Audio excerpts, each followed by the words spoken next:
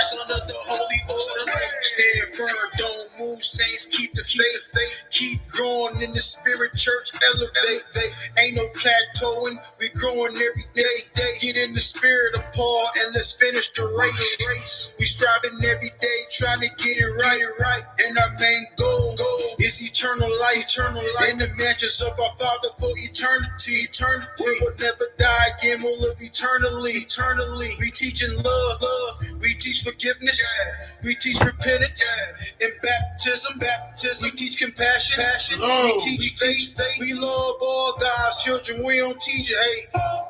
Oh. Yeah. We under the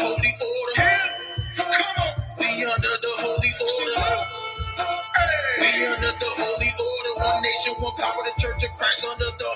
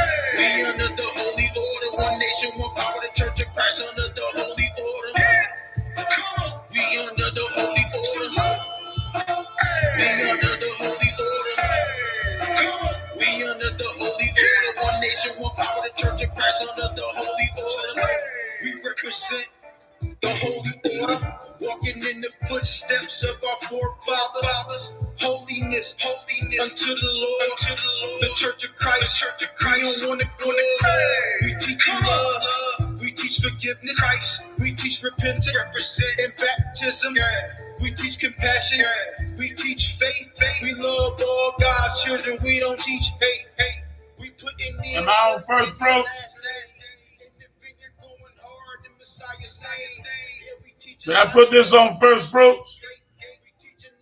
Huh? All right. We under the holy order. We under the holy order. We under the holy order. One nation, one power, the church of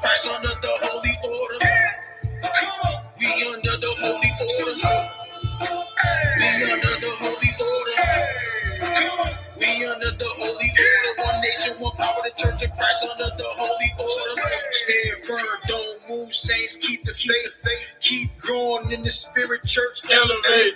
Ain't no plateauing. We growing every day. day. Get in the spirit of Paul and let's finish the race. race. We striving every day, trying to get it right, right. And our main goal, eternal life. In the mansions of our Father for eternity, eternity. We will never die again. We'll live eternally, eternally. We teaching love, love. We teach forgiveness.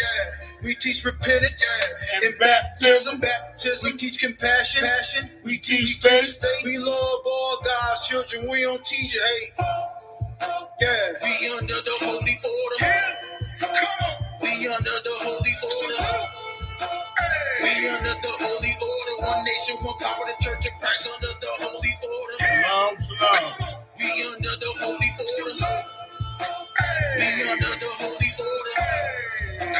We under the holy order. One nation, one power, the church of Christ under the holy order.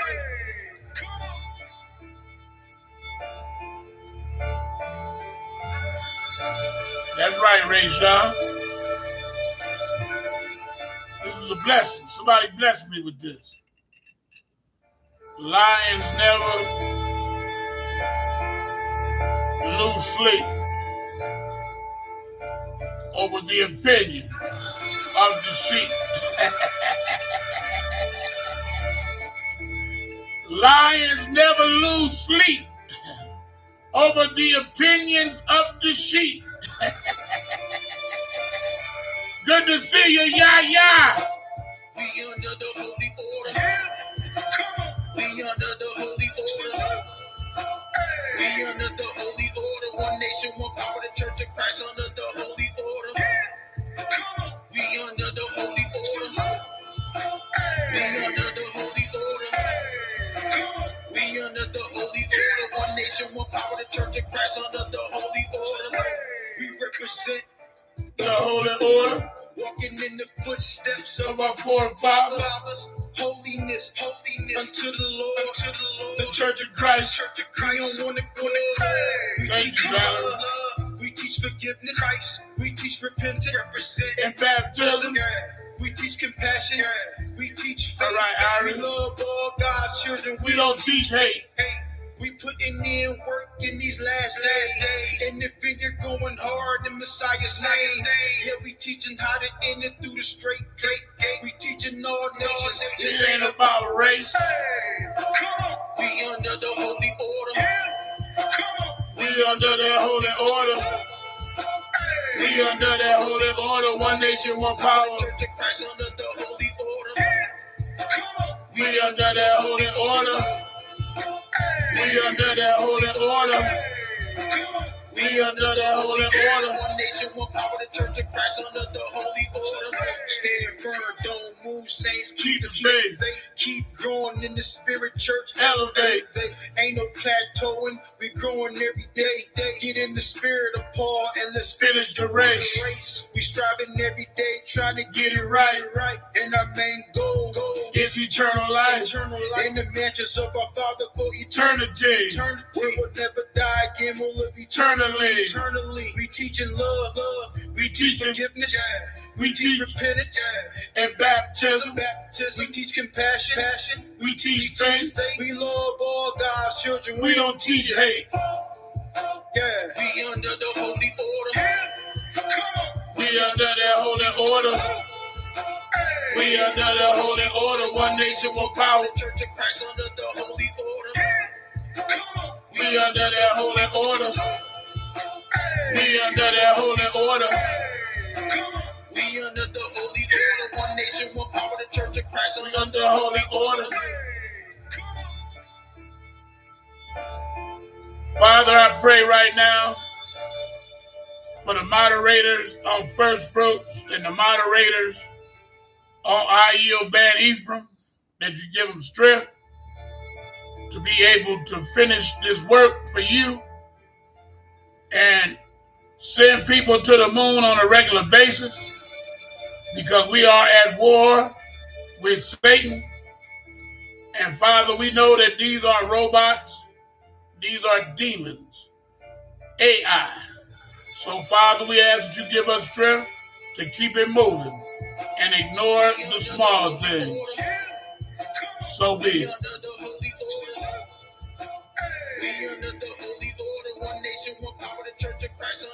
Don't let what happened to me yesterday, we ain't gonna let it happen again. We're gonna put our foot to the gas pedal and we're gonna smash on Satan. Holy order. Walking in the footsteps of our forefathers. We're gonna smash on Satan. Unto the Lord. So don't be surprised We don't wanna quit. with anything any one of these bots say on this channel. Just block them. Just block them. Send them to the moon. We ain't we ain't dealing with them no more.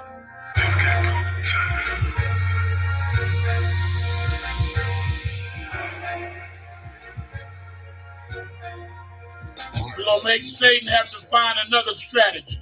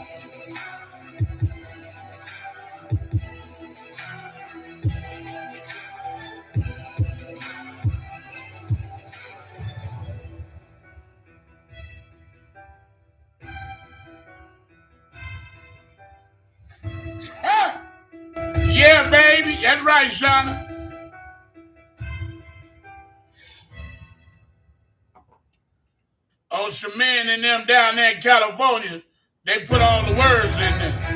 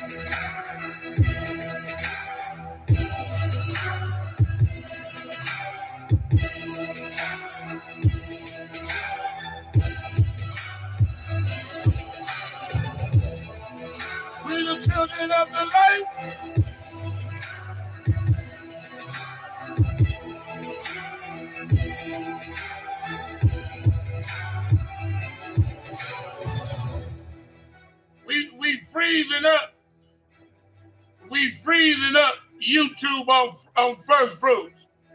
Them, them robots can't take it. Them robots can't take it.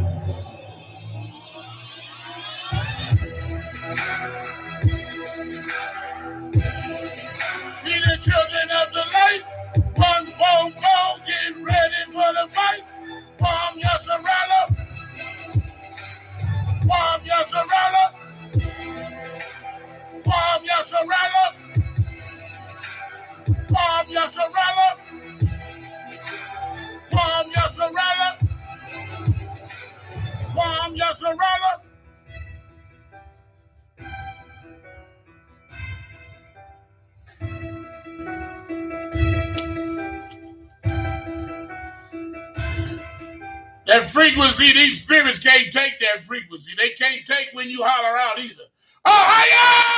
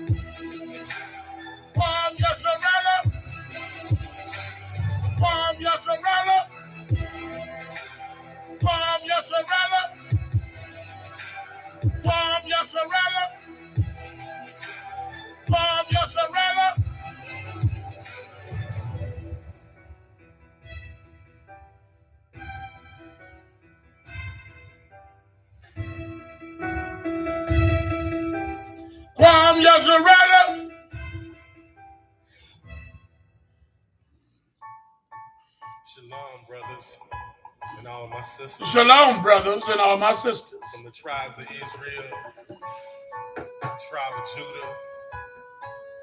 Real get your pencil and get your paper, please. Is there anybody out there? Anybody out there?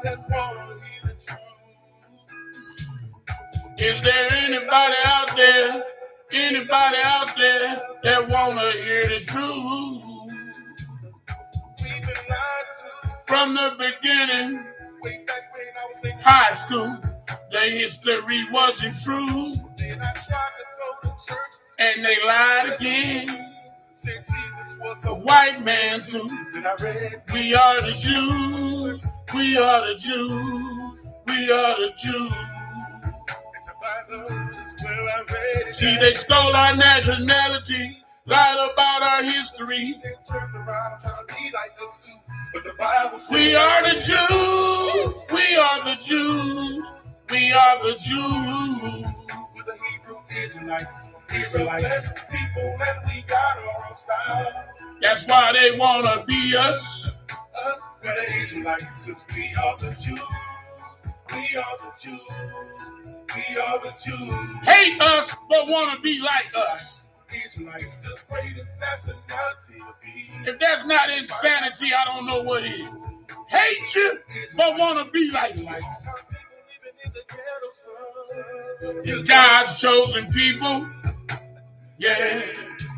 And if you're black and had it hard, been struggling so hard, you wonder why it's gotta be this way. But the most I say that we would suffer for turning our backs and all of His commandments. Yeah, we got a chance to get it right.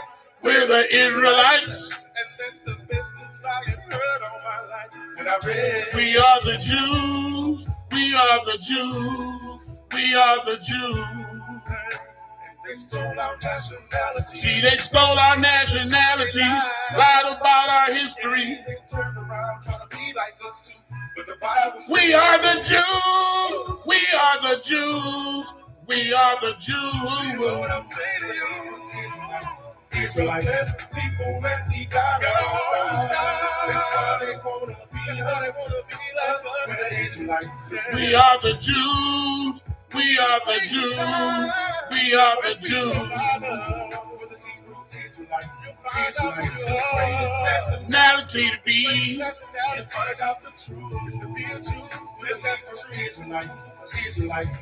Come on out of here. Get your pencil and paper. We are the Jews. Hallelujah. Hallelujah. Hallelujah. Hallelujah.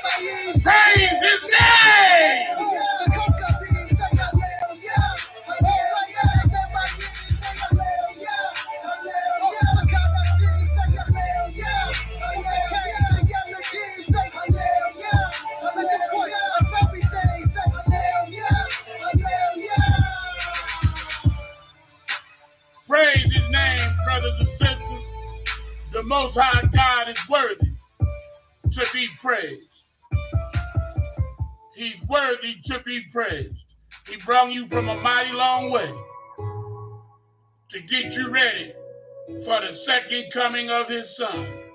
He is worthy of all the praise we can give him.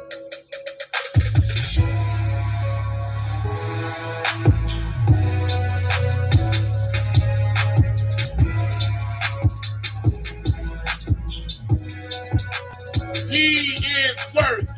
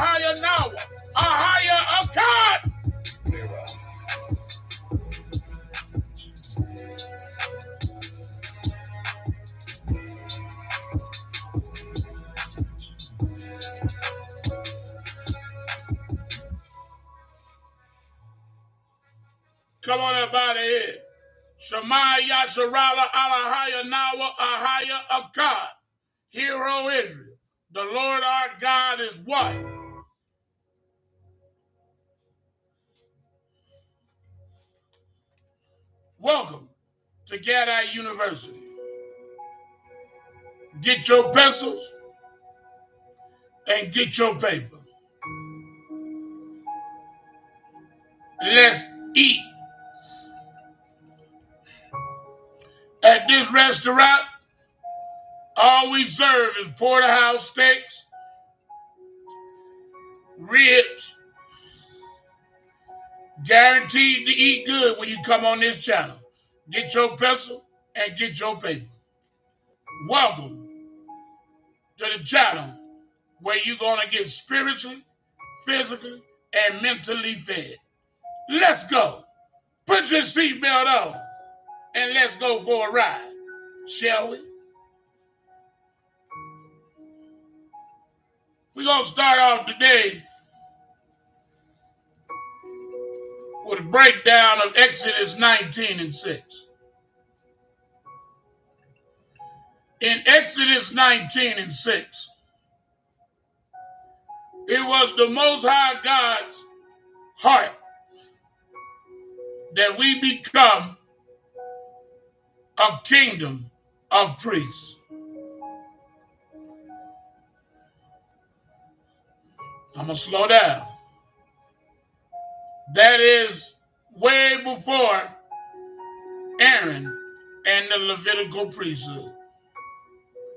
That priesthood was to be a Melchizedek priesthood alongside of the Aaronic priesthood.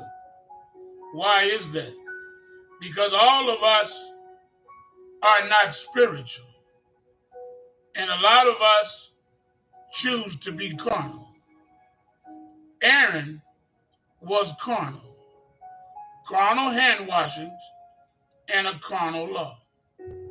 Melchizedek is spiritual, being born again so that you may receive the promise of the Holy Spirit, thereby keeping covenant with Christ and walking right in the eyes of God. So we're going to start today in Second Chronicles, chapter 34 and verse 15. And then we're going to use and we're going to explain this book.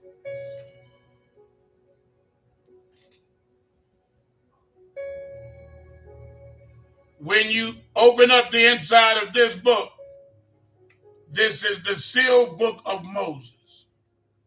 This is the book that was found under the altar, written by Moses himself, given to us by God himself. And we're going to prove it without any Gentile influence in it. No manipulation, straight from Moses. Second Chronicles 34 and 15. Turn down your volume on your end because I'm about to Isaiah 58 1. Cry loud and spare not. And Hilkiah answered and said to Shaphan the scribe, I have found the book of the law in the house of the Lord. And Hilkiah delivered the book to Shaphan. And Shaphan carried the book to the king and brought the king word back again, saying, All that was committed to thy servant, servants, they do it. And they have gathered together the money that was found in the house of the Lord and have delivered it into the hand of the overseers and to the hand of the workmen. Then Shaphan the scribe told the king, saying, Hilkiah the priest has given me a book. And Shaphan read it before the king. And it came to pass when the king had heard the words of the law that he rent his clothes. At this time, they were practicing and keeping the Levitical priesthood. They thought they were doing everything that God would have them do until they found another book under the altar. And when they read it out loud in front of the king, the king rent his clothes. That was a sign of repentance in the old days. The next thing he would have done was to add dirt up on himself. When they found this book, they realized that they were not serving God as they should. Let's go now to the book, page 15.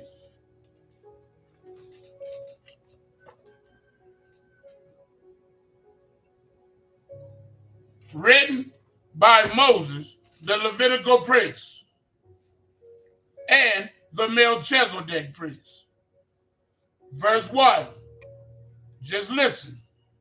And now, behold, I desire to speak unto those who shall have the words of this book in their hands. Stop. Is this book in your hands? Put a number five in here if you got right now got this book in your hands.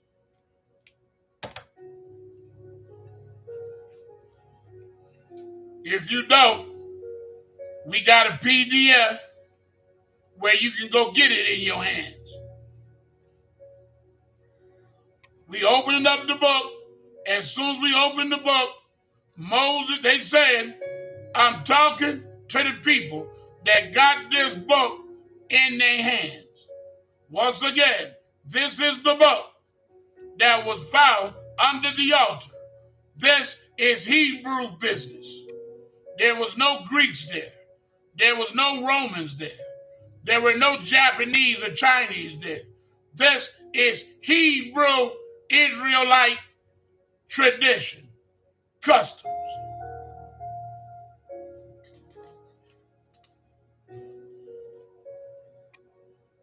And now behold, I desire to speak unto those who shall have the words of this book in their hands. And after the Lord had stretched forth his arm upon the Gentiles in the latter days, he's doing that right now.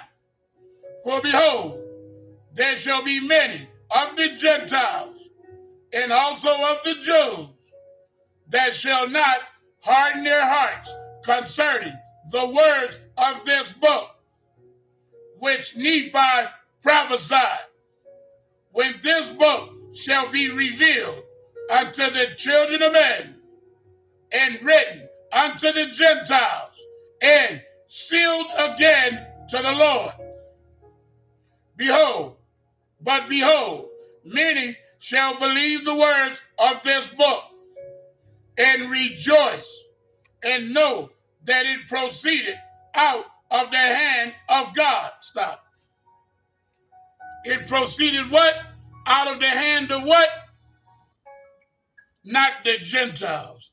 God. This book.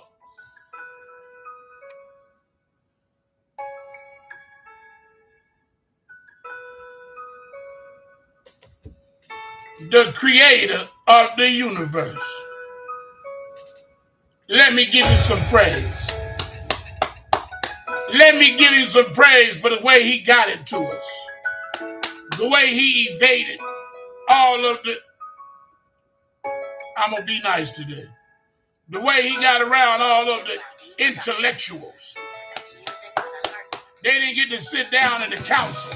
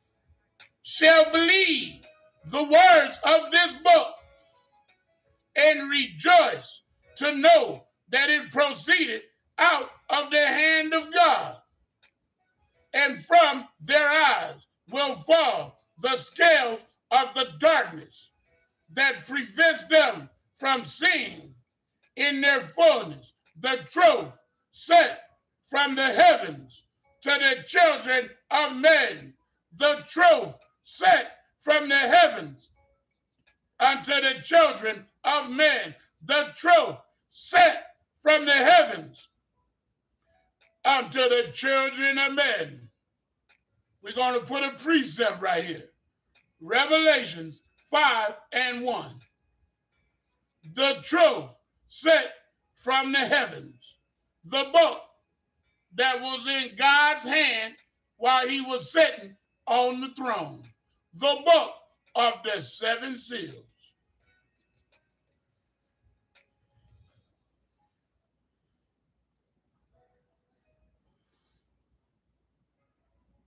Set from the heavens to the children of men. And before many generations pass, they will begin to coalesce in true knowledge. In what? True knowledge. In what? True knowledge. In what?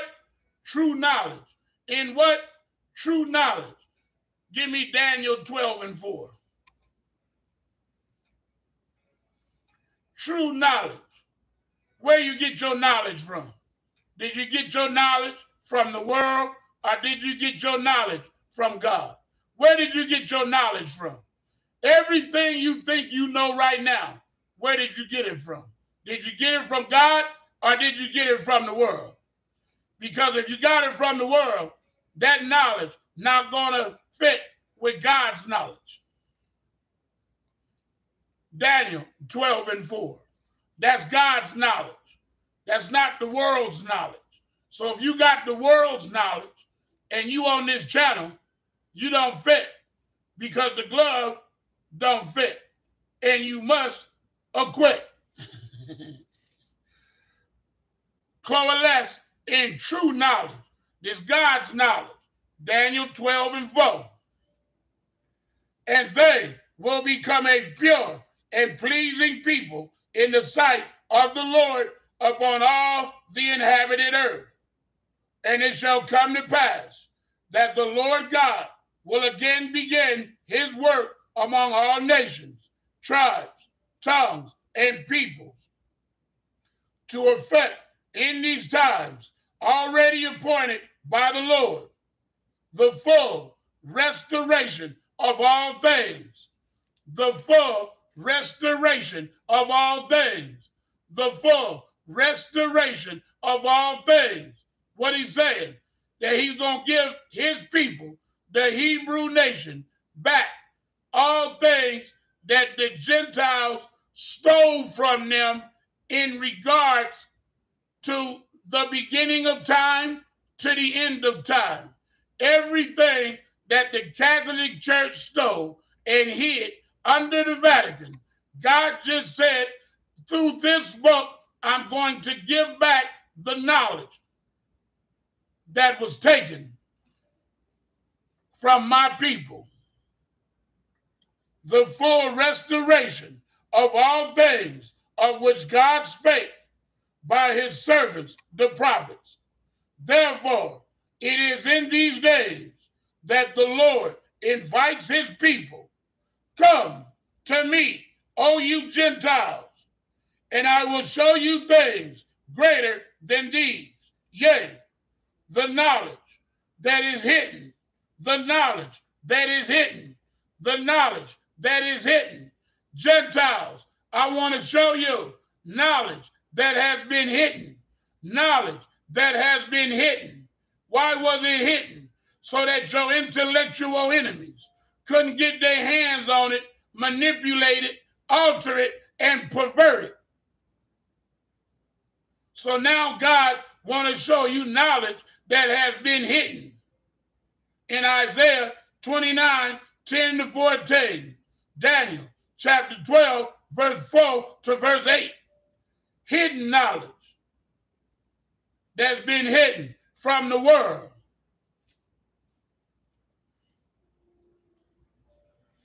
Yea, the knowledge that is hidden because of the hardness of their hearts. Are he's saying sin. Come to me, O house of Israel, and great things shall be revealed to you that the Father has reserved for you from the foundation of the world. Stop. Come to me, you Hebrews, and I will show you things that the Father has hid up for you from the foundation of the world. Stop.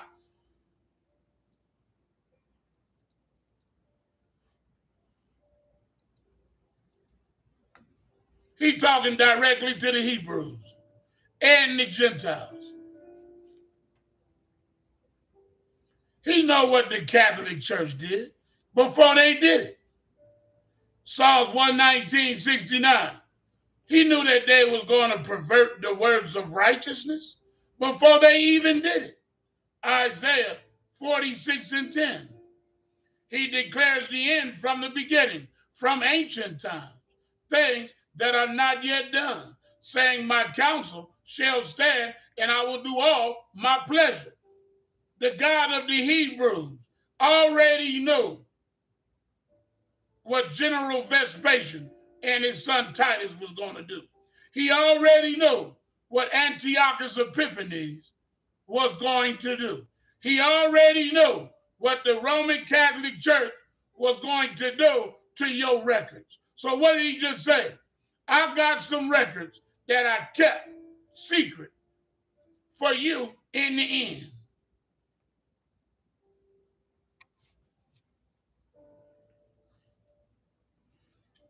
Come unto me, O you Gentiles. Come unto me, O you house of Israel. And great things shall be revealed to you that the Father has reserved for you from the foundation of the world and have not come to you because of your unbelief. Right here, you can put Romans 11 25. The reason it didn't come to us sooner is because we had to go through the 42 months in Revelations 11 and 2. We was held captive by the Gentiles under their spiritual and physical authority until 2019. 2019 is the year that the 42 months ended. Luke 21 and 20.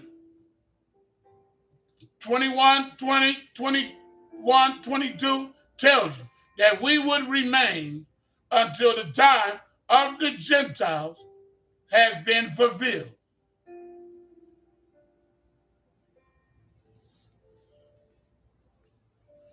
That's why we didn't get this information because it wasn't for the Gentiles. It was to be given to the house of Israel because it's our records. He never gave the Gentiles our records, they stole them. So the father said, I got something for you that I kept, that I didn't release on earth until the time of the end. house of Israel just for you. So that you can teach the rest of the world what I give you. Behold, the time has come for you to tear this veil that leads you to remain in this terrible state of iniquity and hardness of heart and blindness of mind. For the words that come from this record, he talking to the house of Israel. For the words that come from this record, the seal book of Mormon are like the hard tip of the mallet that shatters the hardness of the rock that covers your hearts, hardened by your traditions, and as the fire of the refiner who refines and purifies the filth of his thoughts, stained by the precepts of men. Stop. What the Most High just said. He said, I put a spirit on this record that when you read it, it's going to begin to transform your mind, spirit, and soul. That's what he just said. I put the, a spirit on this record that when you read it, the scales are going to fall from your eyes.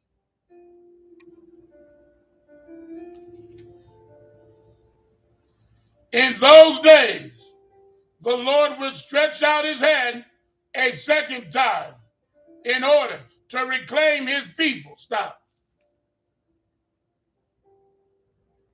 When we got this book, this is when God began to stretch forth his hand.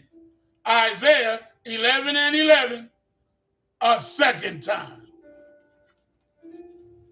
2019. In those days, talk about 2019. 2019 is also the end of the 400 year prophecy in Genesis 15 13. In those days, the Lord will stretch out his hand a second time in order to reclaim his people who are of the house of Israel and to do a marvelous work and to do a marvelous work. There go your Isaiah 29 14. And to do a marvelous work among them for the purpose of remembering the covenant which he has made with the sons of men and to fulfill the promises made to Nephi concerning the descendants of Lehi. Lehi, we're gonna, re- we gonna keep reading. God gonna tell you what his real name was. His Lehi, his father, in order to recover the remnant of his seed. And so that the words of this book, written by the seed of Nephi, come to the seed of his father in the last days. Why did he say written by the seed of Nephi? Because it's the house of Israel. And to the knowledge of the house of Israel that it come to the seed of his fathers in the last days, in the last days, in the last days, and to the knowledge, and to the knowledge, and to the knowledge, and to the knowledge of the house of Israel, of the house of Israel, of the house of Israel, of the house of Israel. Who are we? We are the house of Israel. This record has come to the knowledge of the house of Israel, the 10 tribes. This is our DNA test. This is our DNA test.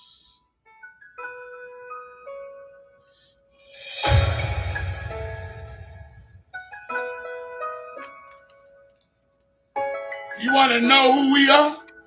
We are the house of Israel. Put that in your crack pipe and smoke it.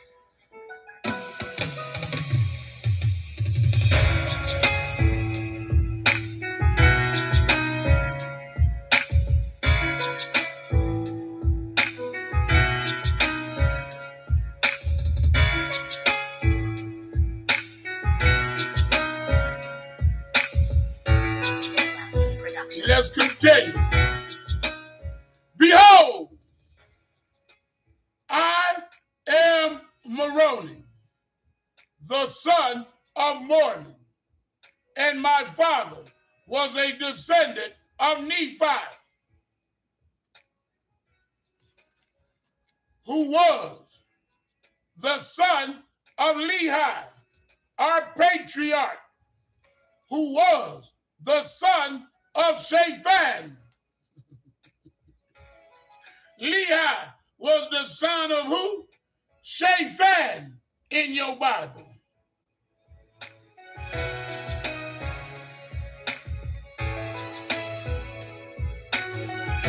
That's right. The Lehi that you see in the Book of Mormon is the direct bloodline son of Shaphan, the scribe, during the reign of King Josiah.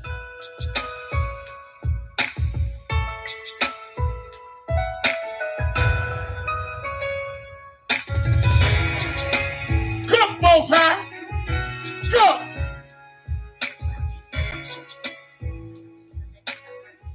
Behold, I am Moroni, the son of Mormon, and my father was a descendant of Nephi, who was the son of Lehi, our patriarch, who was the son of Shaphan, coming from a family of scribes of the kingdom of Judah and of the tribe of Joseph by the seed of Manasseh, just as one reads in the genealogy of Lehi by his own record described in the first part of these plates that my father Mormon compiled.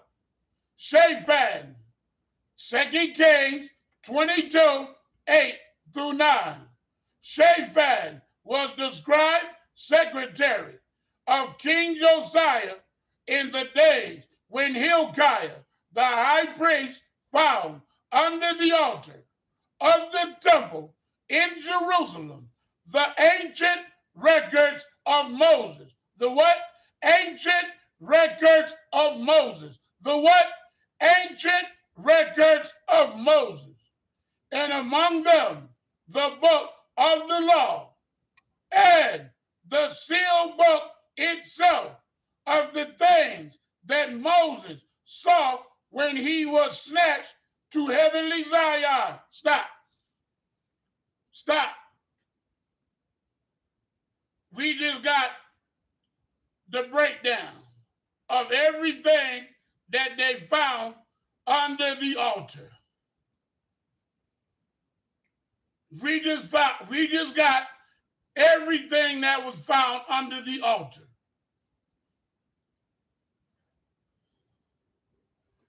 Verse 8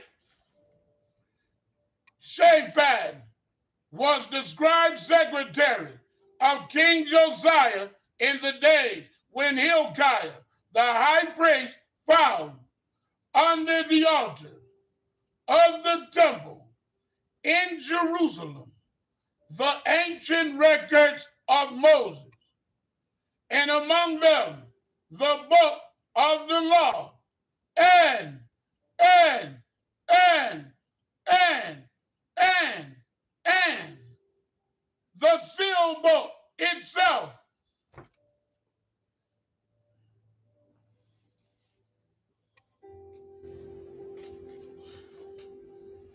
And, and, and the seal itself of the things that Moses saw when he was snatched to heavenly Zion.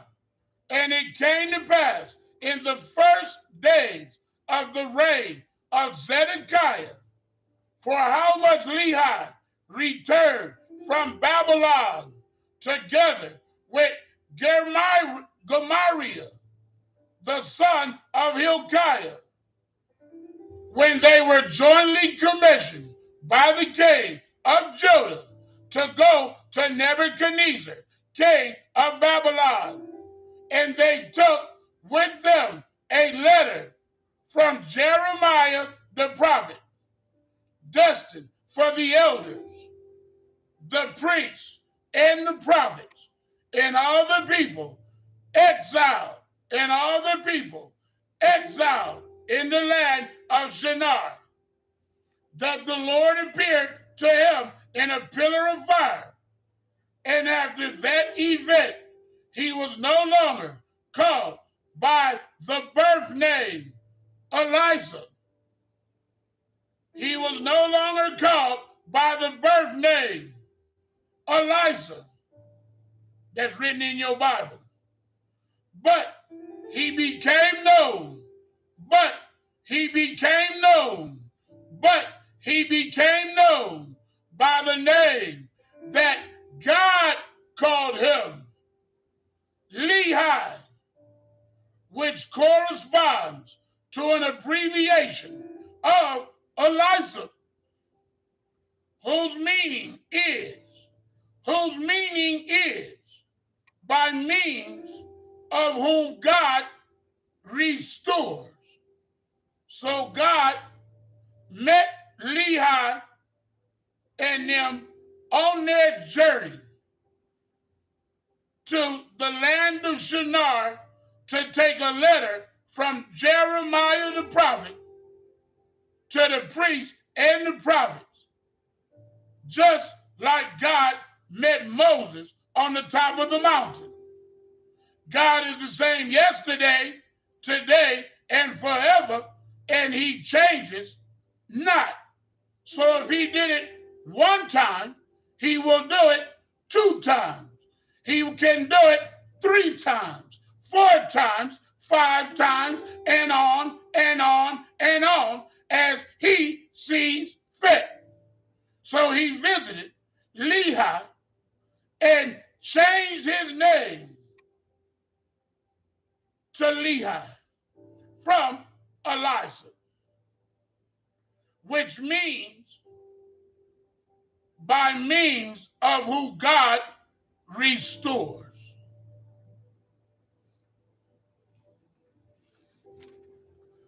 Why did I read that first?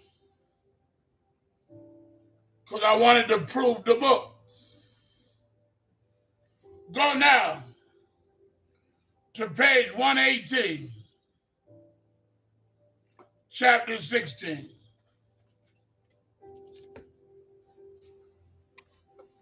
We're going to get first hand knowledge from Moses himself. The story of Moses after freeing the Hebrews from slavery to Egypt. First hand account. No, no, no Gentile manipulation. I love it. I love it. I love it. I love it. You can't see God's wisdom is is smarter than the cunning of the devil. You see, see how that works? God's wisdom is greater than the cunning of the devil. Huh? Devil wiped out all your history. God gave it back.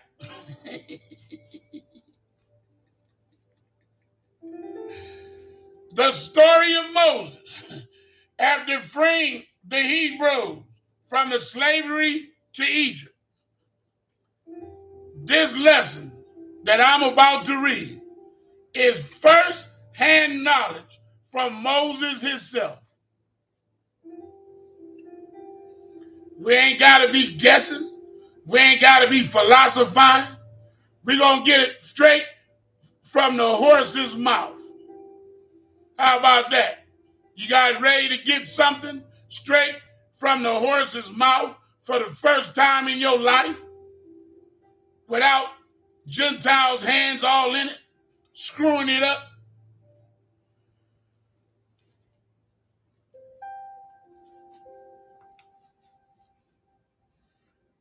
Verse 1, straight from Moses' own mouth. It was then at the crossing of the sea under the cloud of the mighty God that the nation of Israel, together with the Egyptians who had forsaken their land to serve Christ, stop.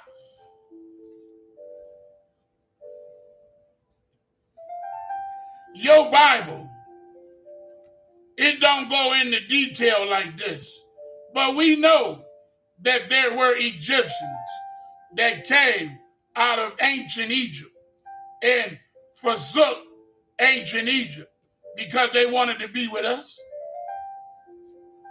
Your Bible tell you that. Some of the Egyptians came out of ancient Egypt with us. Moses telling you what happened. Let's keep listening to Moses. It was then at the crossing of the sea under the cloud of the Almighty God that the nation of Israel, together with the Egyptians who had forsaken their land to serve, they got Jehovah in there. That's Christ. Moses knew Christ. To serve Christ. Christ is the God of this world. Underway a baptismal process in me, Moses. They what?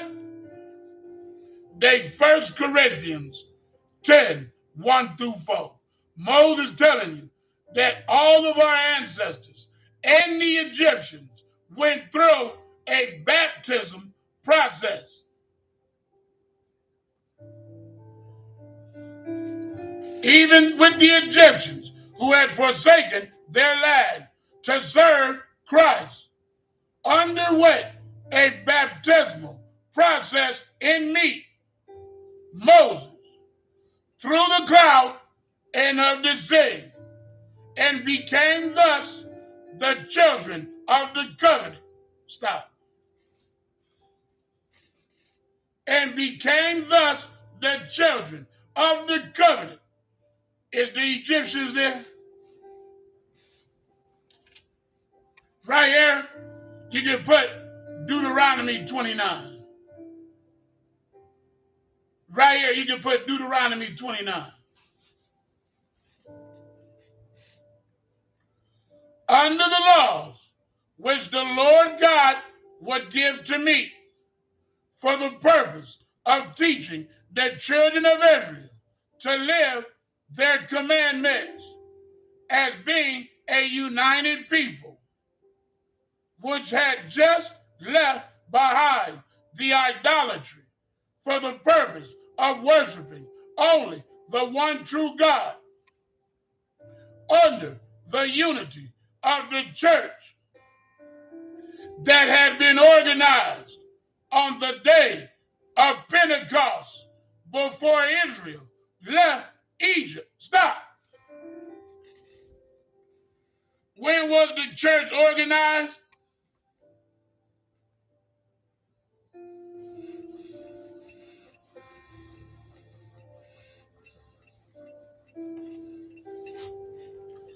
When was the church organized? On the day of what? Pentecost.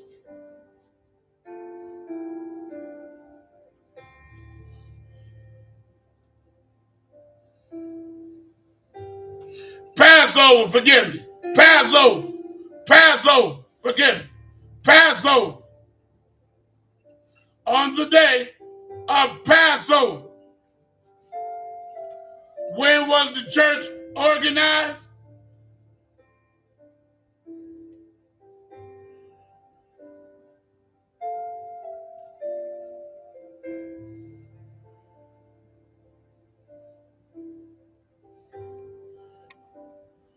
Not the Passover.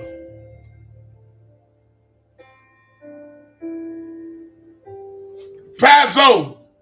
All right? When do we get the knowledge of the Book of Mormon?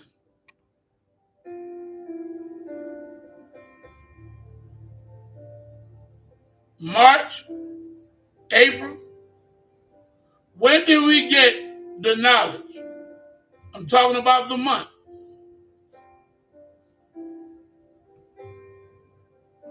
If I remember correctly, that was around March and April.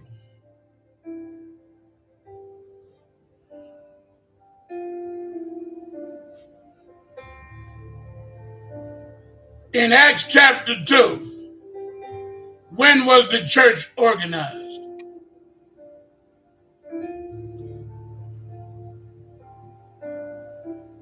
Were they together at the Passover and the Holy Ghost fell?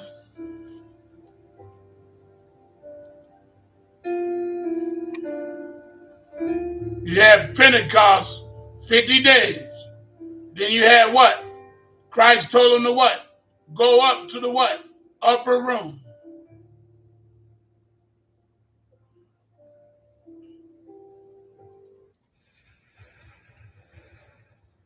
All around the same time. Just pay attention.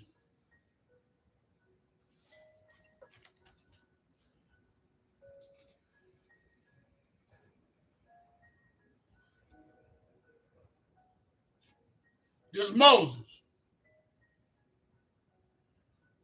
And being a united people, which had just left behind the idolatry for the purpose of worshiping only the one true God under the unity of the church that had been organized on the day of Pentecost before Israel left Egypt. Regardless of where they were, they would all be one in the knowledge and subservience of the covenants made by Christ with the nation of Israel from before they left Egypt. Stop. They go your first church.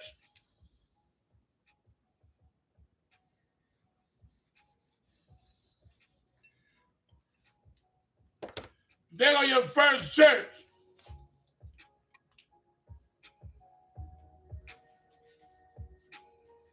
The first church did not start in Antioch.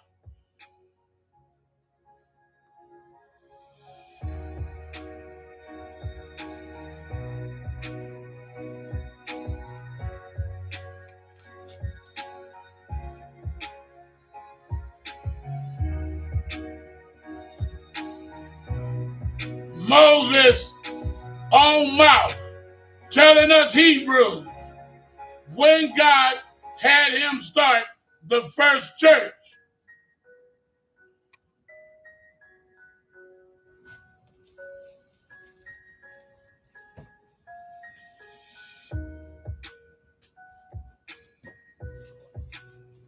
Let's keep reading.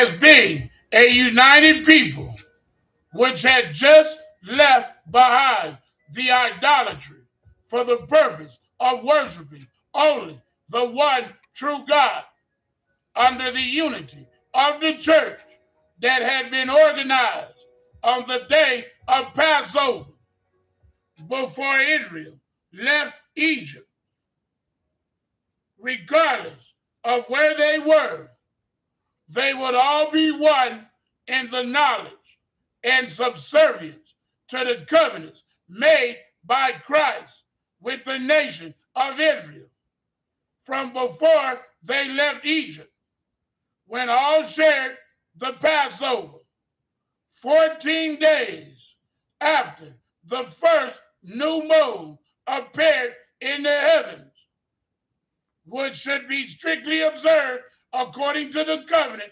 established for liberation of the people of Israel. This month coming up represents what? The liberation of the children of Israel. What's up, Reg? That's what this represents.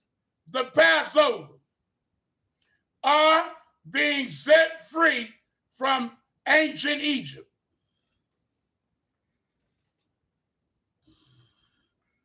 Observe according to the commandment established for liberation of the people of Israel, prefiguring then that the Israelite nation, that the what?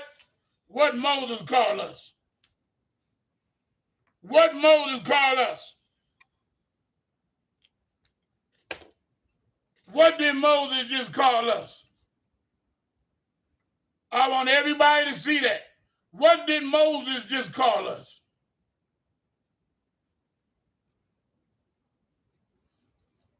I want everybody to see that before I keep going.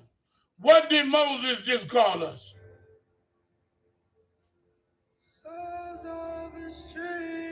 The Israelite nation.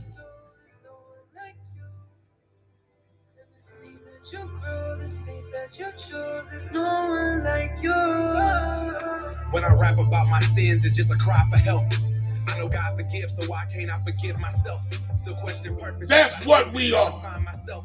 Be overthinking to the point where it decline my health. I'm stuck in my rejection. I feel so many attachments.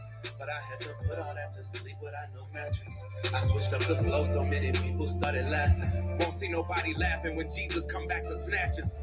Every day I'm tested and fearful if I'm go past. Now, I want you to see why it was so important relaxing. When I reach a in Exodus 19 and 6 and Jesus said a prophet for us to be probably the reason that all my a kingdom of priests because we were supposed to teach the world. Why don't you wake the hell up?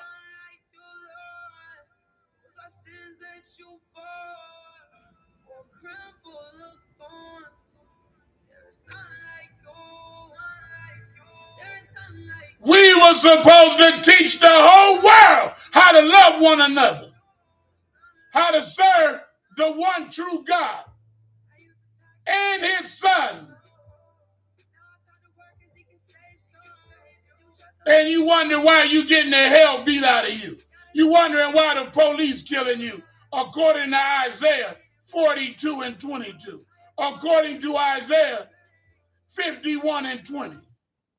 Isaiah 65 and 15, Amos 3, 1 through 3. You trying to figure out why we getting hands put on us? According to Exodus 24, 6 to 8, we had the blood of the covenant sprinkled on us. Blood in, blood out. In Deuteronomy 32, starting around 19, we started serving devils. We didn't want to teach the world. We wanted to be hoes. We wanted to be just like the Gentile nations that we were supposed to teach. We wanted to hang on stripper poles.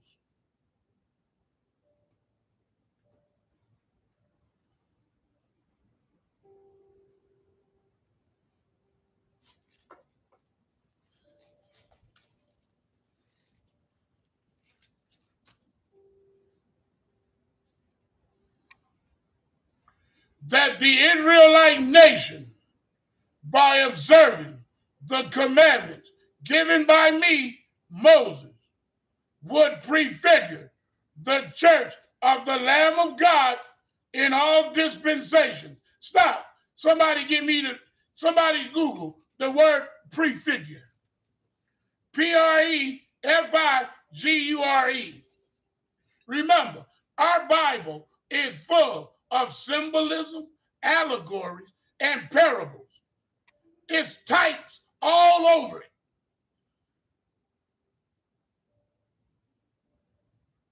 Types all over it.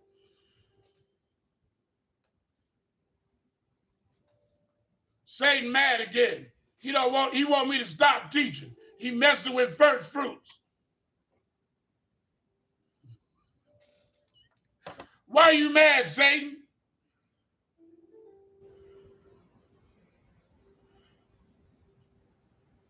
Why are you mad, Satan? Because I'm teaching my people.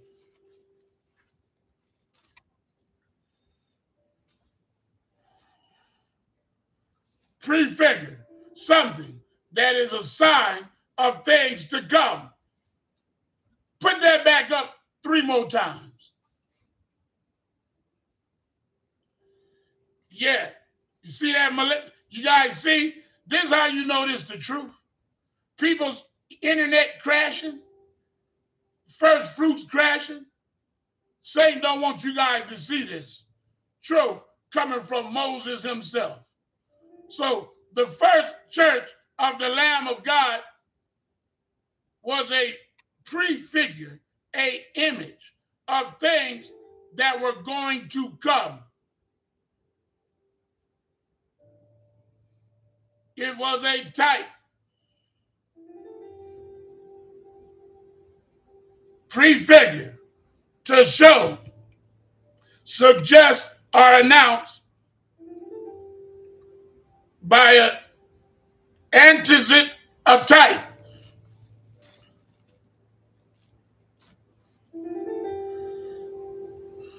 You guys, we're gonna have to fight this devil today. Let me finish.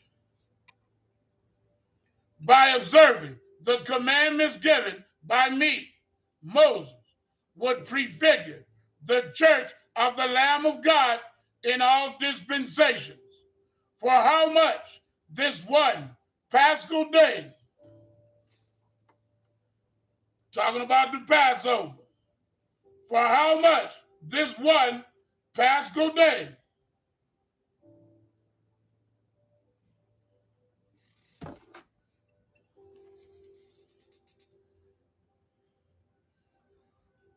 to be observed strictly 14 days after the first new moon of the first month of it is to be kept in perpetuality, propriety among the people of the covenant, because it represents the liberation of his people from the slavery of Egypt. What does it represent?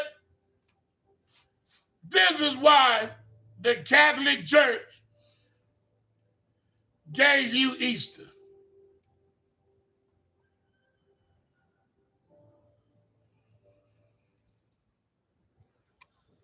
This is why they gave you Easter and did not acknowledge the Passover because it represented you guys' freedom from ancient Egypt.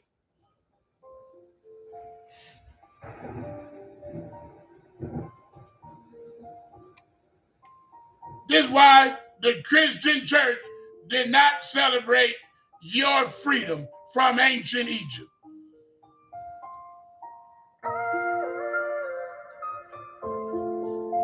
They gave you Easter eggs and bunny rabbits.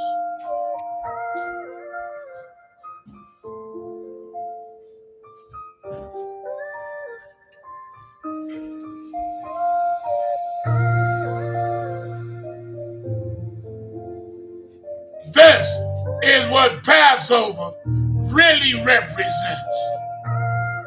Our ancestors being freed by God out of ancient Egypt.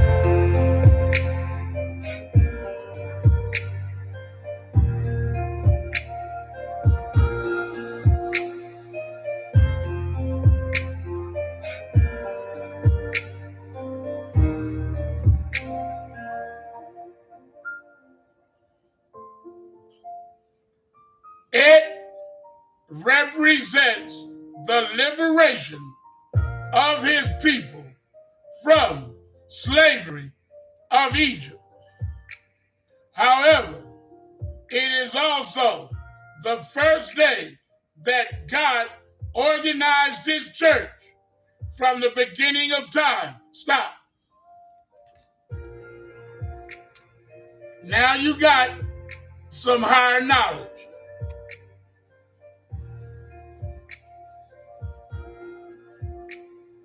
Now you got some higher knowledge. It also represents the first church that was started by God for us to worship the God of Abraham, Isaac, and Jacob. Thousands of years before Christianity. So, why did we need their God? Why did we need the Christian God? We didn't. And we still don't. And we don't need your God. Take your God and politely get the hell, get lost. Get lost, you bunch of damn Gentiles trying to tell us something. Get off this. You got to send them to the moon. Get these reprobates the hell out of here. You don't need your damn church. Throw your damn dirty church in the trash.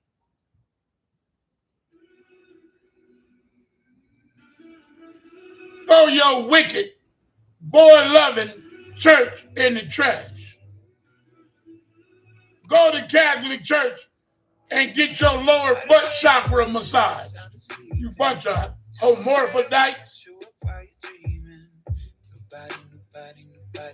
trying to tell us about God. It's in our DNA. Wasn't no damn Europeans here at this time. Wasn't no Chinese here. Wasn't no Japanese here at this time. It was the Hebrews and the Egyptians. And the Egyptians at this time were blacker than a skillet. Wasn't no white skinned Egyptians.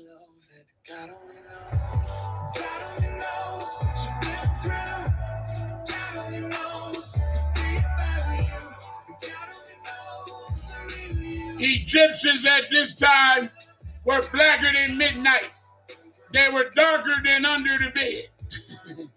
there was no light skinned Egyptians at this time in history.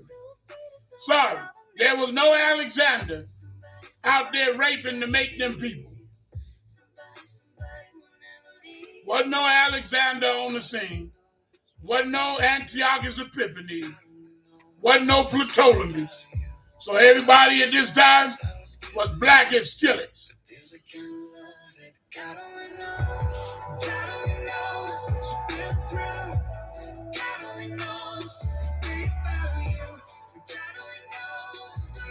I want to say to all of the Gentiles on this channel that have been grafted in with us, praise ye the Lord. We getting back our history from our own people, Moses. This is higher knowledge.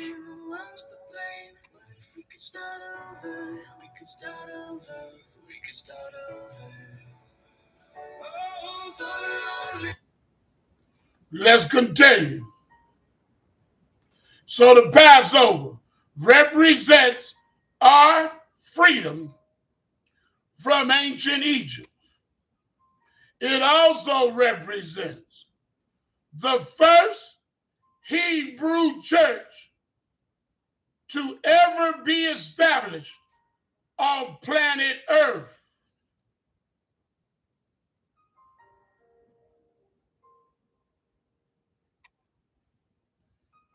Let me say that again. I'm reading from Moses himself telling us what God had him do when we came out of ancient Egypt. Some of the Egyptians came out with us. And God had Moses organize the first church where your Bible tell you in the wilderness. The church, what did Moses call it? The church of the Lamb of God. Let that let me let that marinate. I shared with you guys before, and I'm gonna share it with you again. Every man or woman that's ordained in the heavenly realm as a prophet knew Christ. Why? Isaiah 9 and 6. The government was on his shoulders.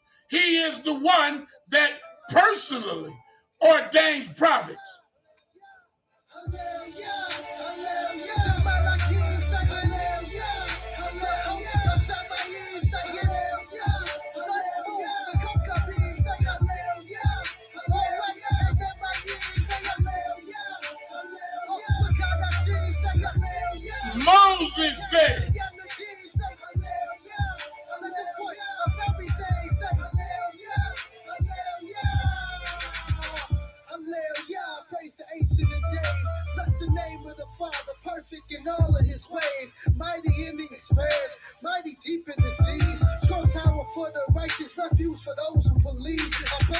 My hell. Now you can properly understand Exodus 19 and 6. Let's look at it. Now you're going to understand Exodus 19 and 6.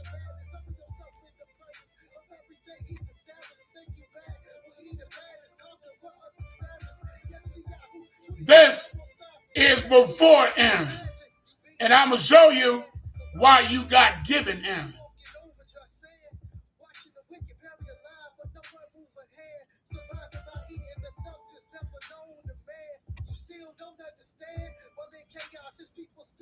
The Most High God, Exodus 19 and 6.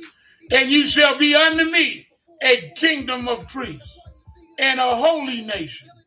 These are the words which thou shalt speak unto the children of Israel. Under what? The church of the Lamb of God, which is what? The Melchizedek priesthood. Genesis 14 18.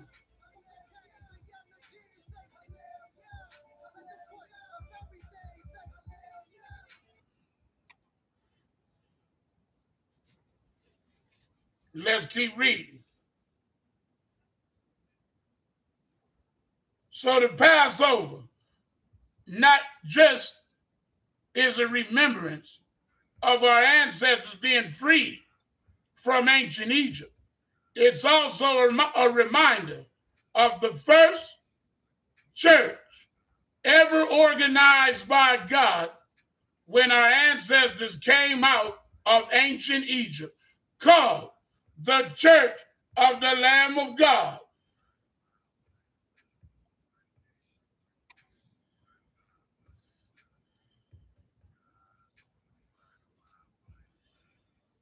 It would prefigure the church of the Lamb of God in all dispensations. For how much this one Paschal day to be observed strictly 14 days after the first new moon of the first month, Abib, is to be kept in perpetuity among the people of the covenant. The people of the covenant. Right here, you put Deuteronomy 29. Because it represents the liberation of his people from the slavery of Egypt. However, it also, however, it also, however, it also, the first day that God organized his church from the beginning of time, and only on this day does God redeem it. Church, when was we redeemed?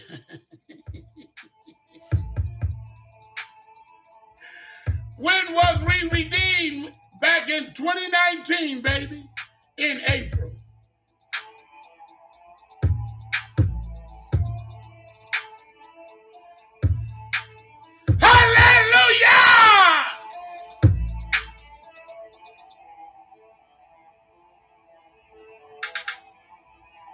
The timeline. When did he redeem his church of the Lamb of God under the Melchizedek order? Keep your eyes on the final hour. One nation, one nation, one power. Keep your eyes on the final hour. One nation, one nation. And only on this day, Keep your eyes on the and only on this day, and only on this day does God redeem it whenever necessary in every predetermined time by him before the foundation of the world. What? A Hebrew church of the Lamb of God that loves everybody, that teaches everybody higher knowledge about the God from whom they love.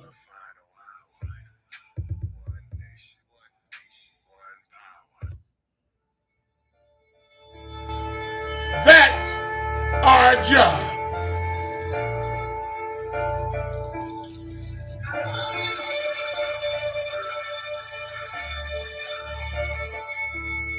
So the first church was not started in Antioch.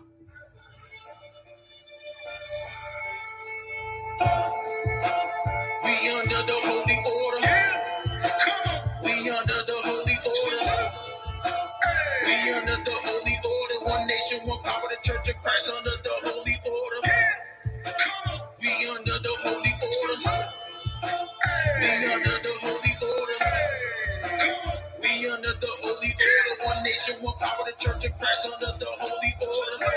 We represent the holy order, walking in the footsteps of our forefathers. Holiness, holiness unto the Lord, unto the Lord. The Church of Christ, Church of Christ. We don't want to go We teach love, love. We teach forgiveness, Christ. We teach repentance, represent and baptism. We teach compassion.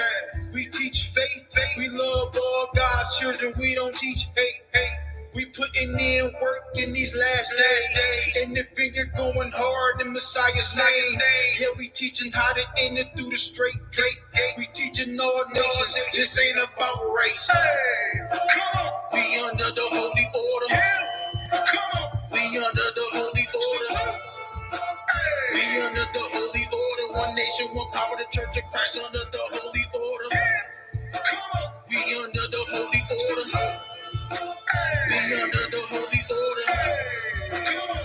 We under the holy order. One nation, one power, the church of Christ under the holy order.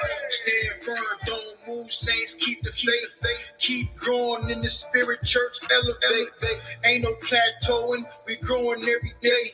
Get in the spirit of Paul and let's finish the race. We striving every day, trying to get it right, right. And our main goal, is eternal life, eternal life in the mansions of our Father for eternity, eternity. We will never die again, we'll live eternally, eternally. We teach in love, love. We teach forgiveness.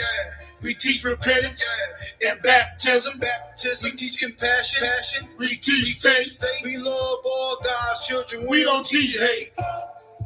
Yeah. We under the holy order. We under the holy order. Verse 3. Now we know that this church that God ordained is a Hebrew church. Give me Sealed Portion 88 and 45. All other churches have been organized on earth by men.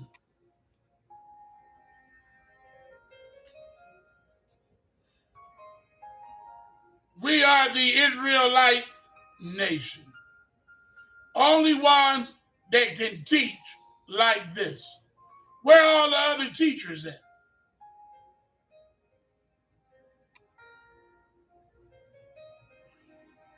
And the false prophet is all of the organized religions upon the earth that have been organized by the hand of man that they might subject the souls of the children of God to their pretended precepts and commandments, which do not create peace and happiness, but strife and misery among all the nations of the earth. That's what religion has done to us. It separated us, it divided us by race, class, all over the world. Muslims don't like Christians. Christians don't like Muslims. Bapt- First Baptists don't like Second Baptists. Second Baptists don't like Third Baptists. Pentecostals don't like Apostolic, but they all following the same God. That should make your head hurt. That's how you know it's witchcraft involved. They all trying to reach the same God, but they don't like each other. They all believe that they're better than each other.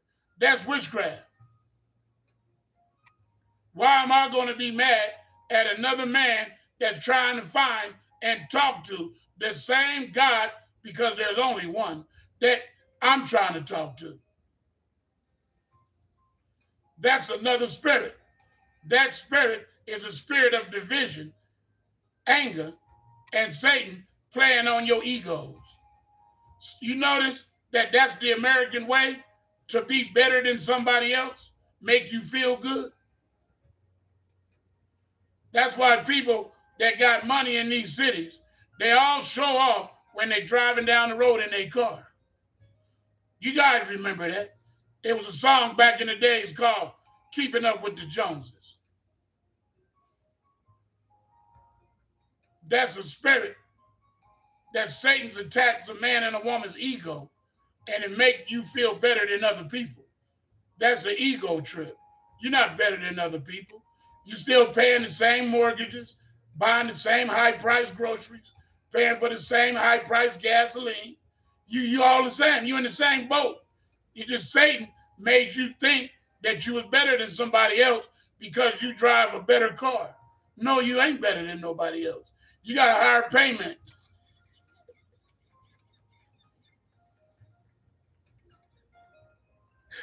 You got a higher car payment, and you got your your your your car insurance is double what the poor man's is. You in worse shape. They got you over a barrel and you don't even know it. So we all the same. We in the same boat, under the hand, trying to stay from out under the hand of Satan. So let's keep going. This is higher knowledge. This, talking about the church, organized by God on the Passover.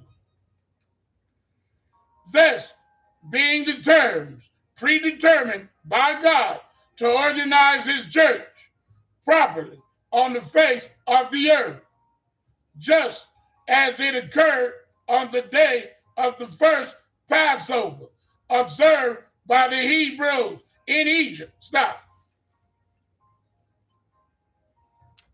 The first Passover happened where? Moses telling us where did the first Passover happen? In Egypt.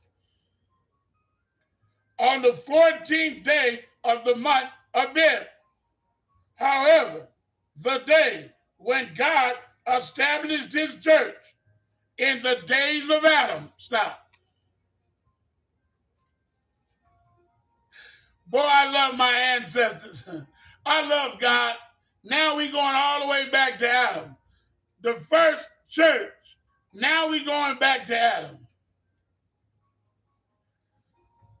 This is higher knowledge.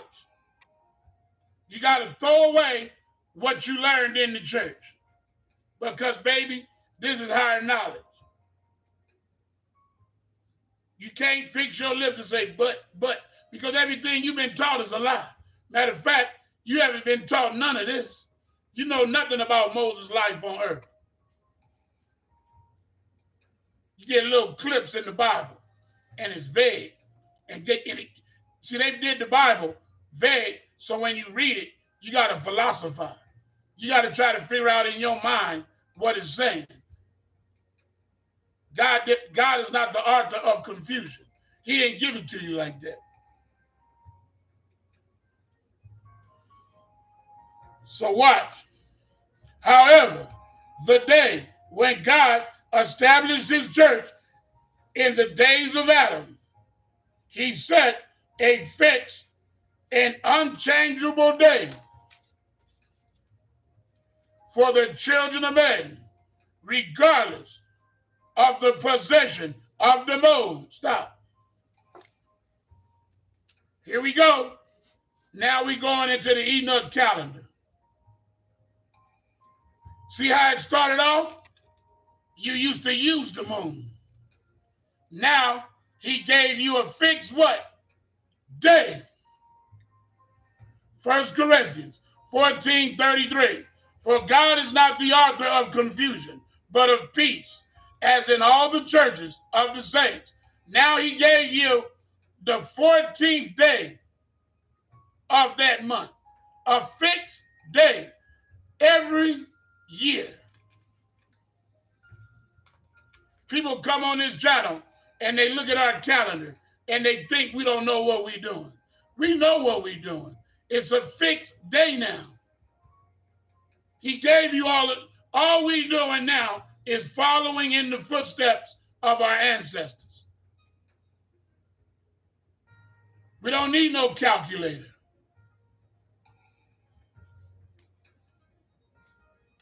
regardless of the possession of the mold in the heaven, to which he set out in all ages to properly organize and structure his church on earth, in which by chance to occur on the 14th day of the lunar calendar among the people of Israel in Egypt. Did they have a lunar calendar back then?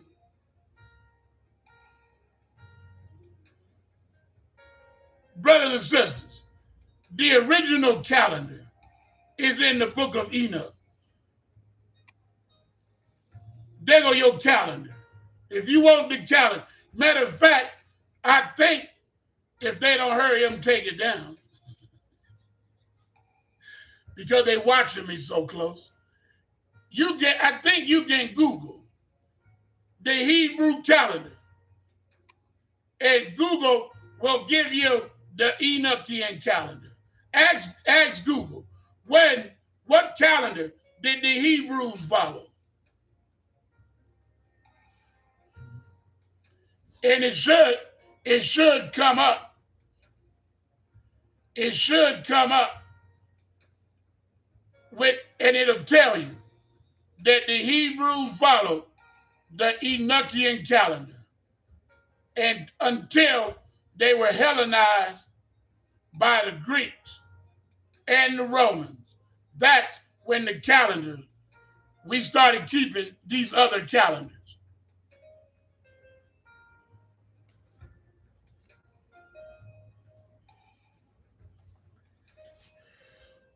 To properly organize and structure his church on the earth, and which by chance to occur on the 14th day of that calendar among the people of Israel in Egypt, making this day for to be remembered, for they of generation after generation, but which for God does not change the fixed day decreed by him and is only begotten before the foundation of the world and for all eternity.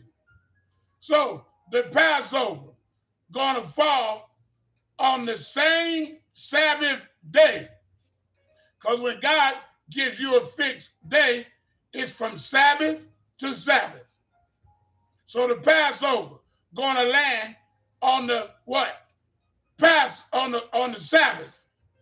That's why it said 14th day. He go from Sabbath to Sabbath. He work in sevens.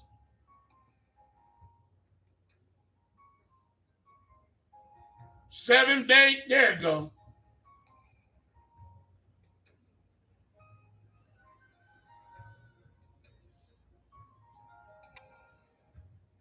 If therefore a church is organized to the Lord on a day other than this day, then this will serve as a sign for you to know that this church does not proceed from the hand of God. Stop.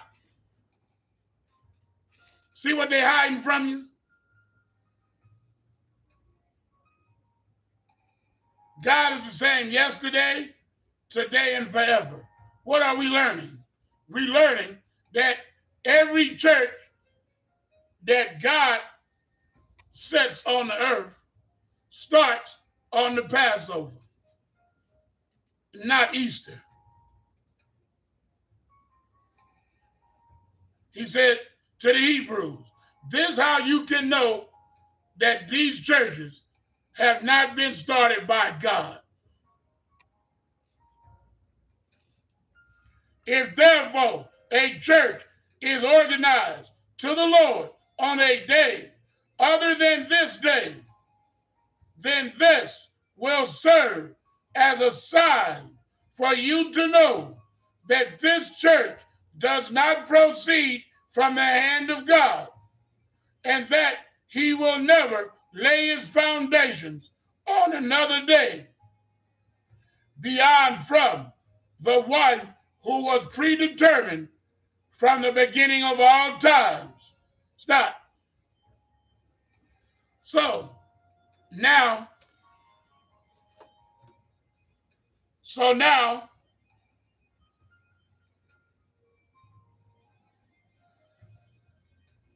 so now, let's think for just a second.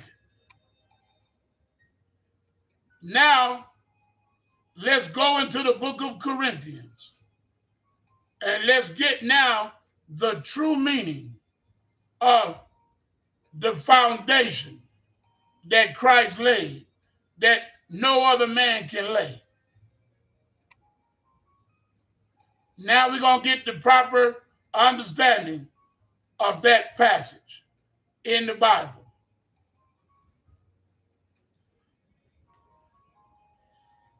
Christ laid the foundation. Here it is right here. The 14th, the Passover. For other foundation can no man lay that than that is laid, which is Jesus Christ.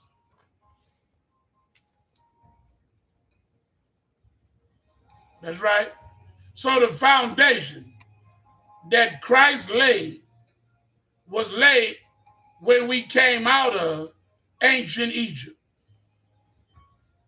the first church of the Lamb of God started 14 days after the month of Abib. And from that time forward, every one of God's churches are started on the Passover.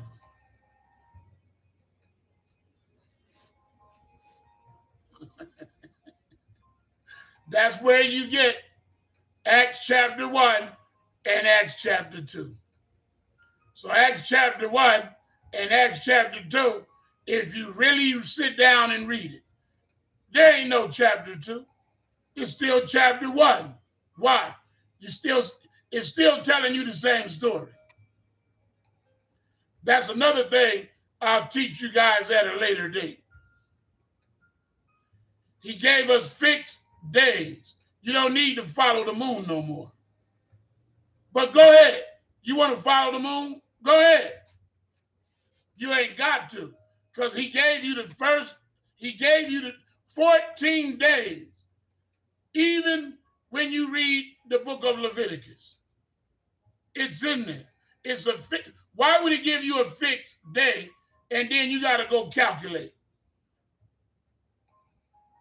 That because you don't understand the scriptures.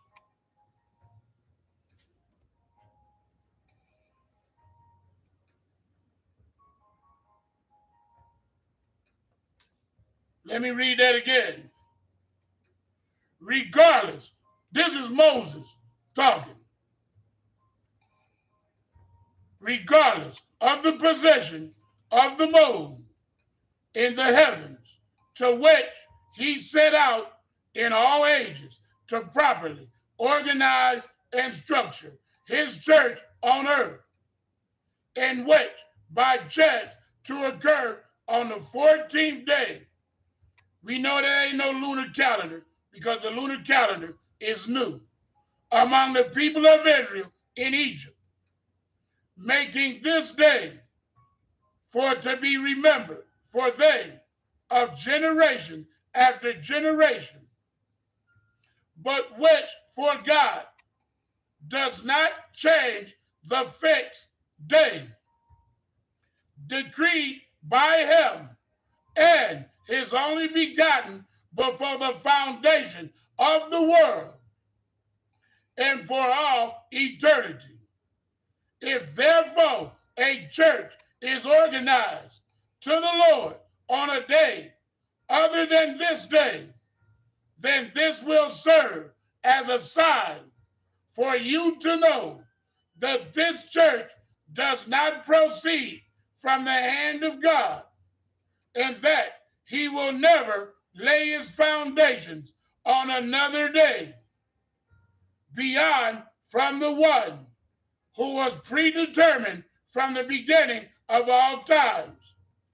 It happened then over time because of the murmuring of all the congregation of Israel, that the disbelief of the people displeased the Lord in view of all that he had done hitherto.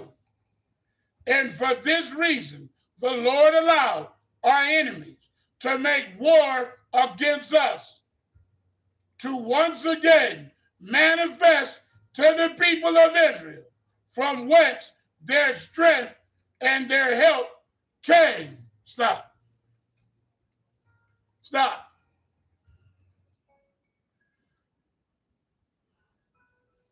God allowed our enemies to make war against us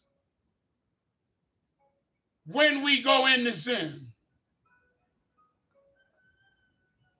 so that we would repent and return and understand that our strength is in our God. Our strength is in the God of Abraham, Isaac, and Jacob, the God of the Hebrews. Our help comes from the Lord.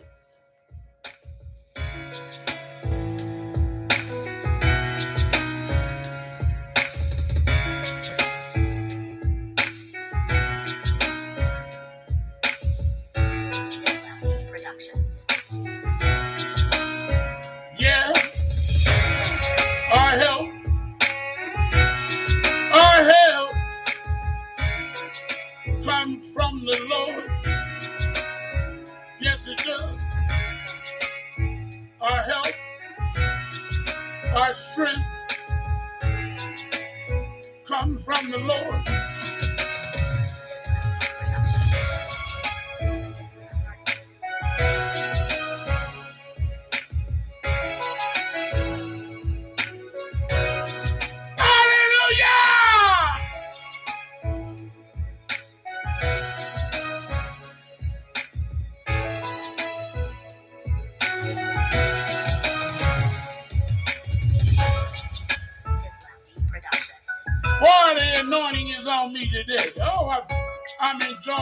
Right now.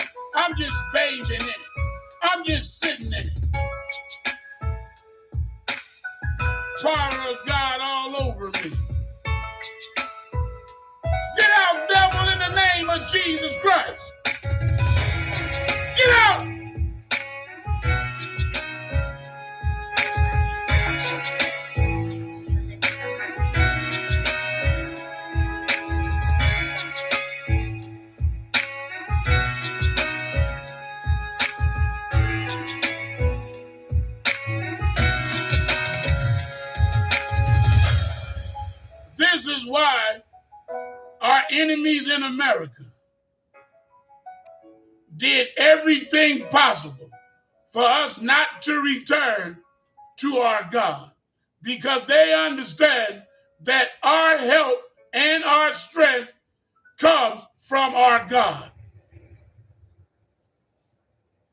So, in order for the other nations to have their way with us, and do to us whatever they want to do.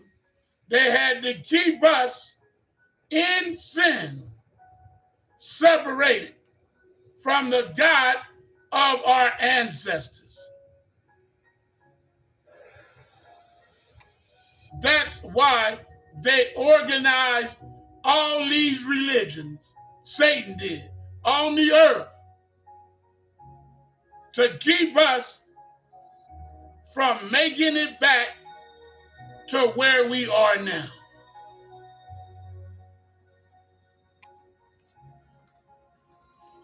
I'm going to read verse 5 again because a lot of you guys need to understand why we are in the condition we are in. And, baby, you need to know that our God has protection about us right now. Why? Because we repented.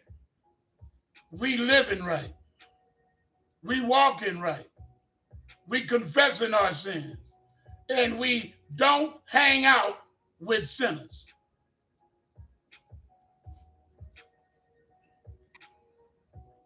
We separated ourselves. We are set apart. Now, it's a dangerous thing to mess with one of God's children.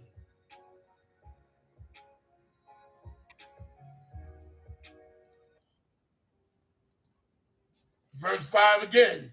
It happened then over time because of the murmurings of all the congregation of Israel that the disbelief of the people displeased the Lord in view of all that he had done hitherto. And for this reason, the Lord allowed our enemies to make war against us, to once again manifest to the people of Israel from whence their strength and their help came. And it came to pass in the land of Rephidim that the Amalekites encamped about to attack the children of Israel. In view of this, I, Moses, called Joshua, and I commanded that he chose some men for the battle against the Amalekites.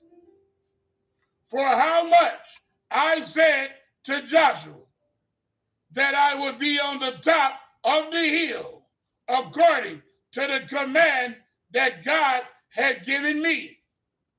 in which I would hold the rod of the Most High in my two hands, with my arms would be in the high. Stop. I'm going to slow down. What's in his hand?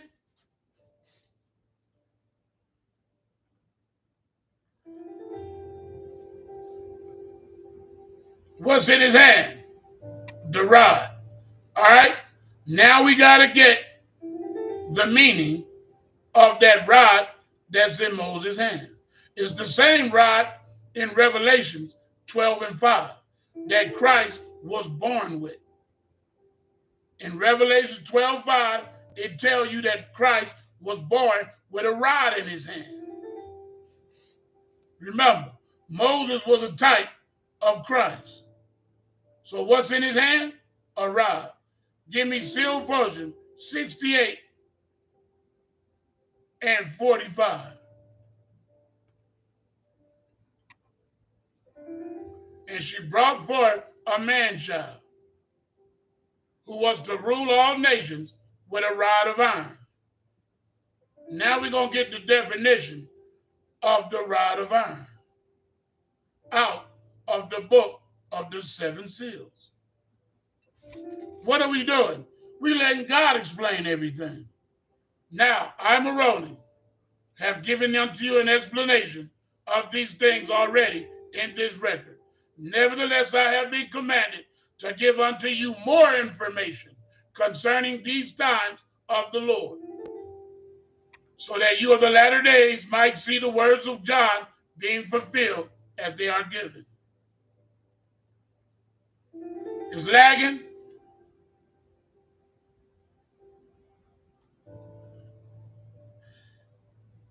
Now the rod of iron of which John had written is the fullness of the gospel of Jesus Christ. What's the rod of iron? Of which John had written in Revelation 12 5. What's the rod of iron?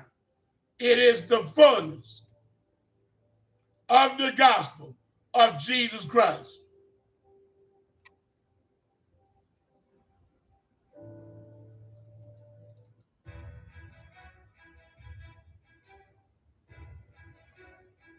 What's in Moses' hand? The rod of iron, which is what? Represent symbology, symbolism. Moses got the rod of iron in his hand. He holding it up in the air. Symbolism.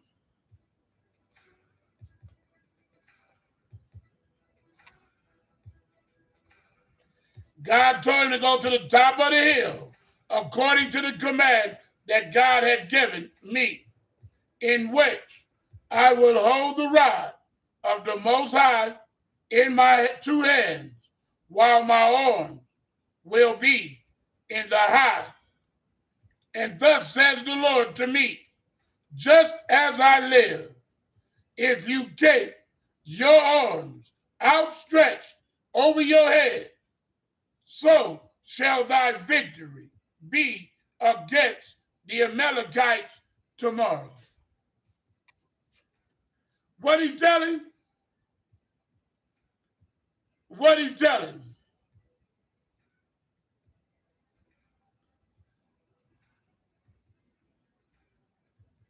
If you keep your what? Hands up in the air to me.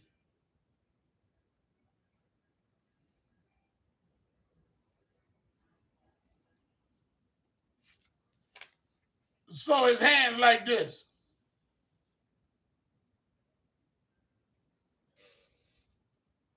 What is that?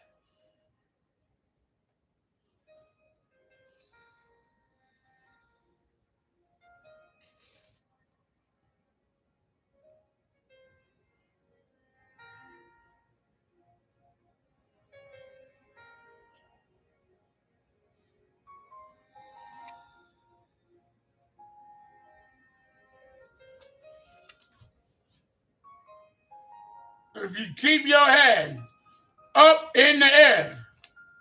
I'm going to give you the victory over your enemies. I don't think nobody on here caught that. I don't think you caught that. I don't think you caught that.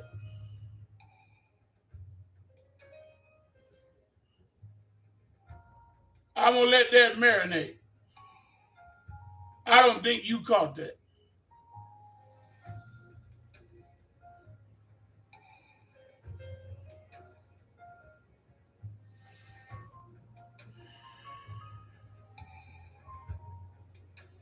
What he telling you? This really happened, but it's also symbolism.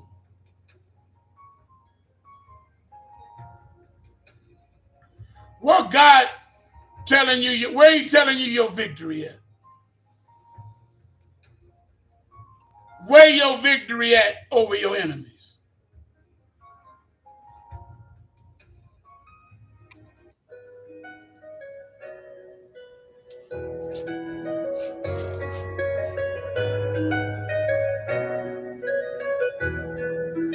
Where your where you gonna get the victories?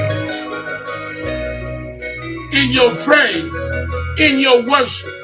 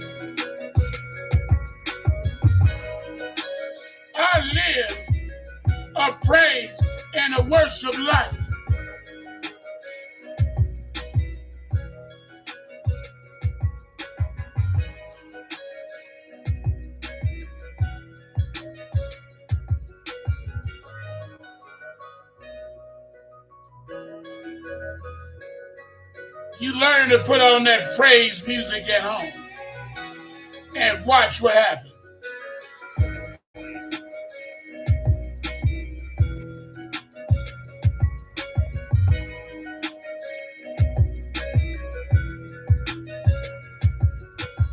You change the whole atmosphere of the house. You change the whole atmosphere.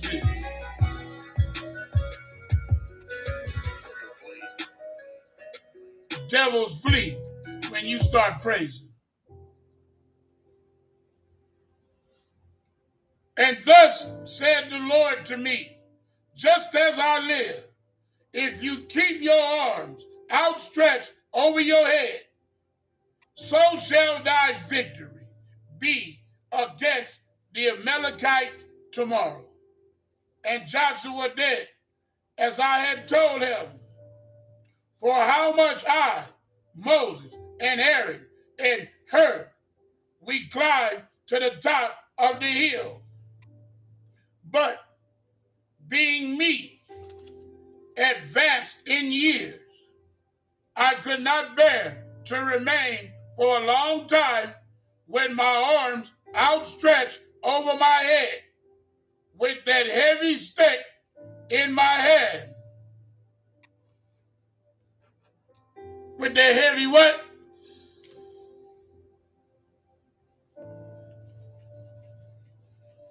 With that heavy what?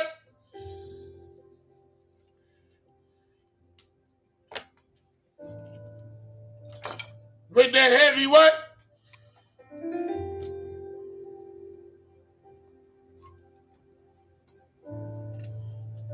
Go to Ezekiel 37.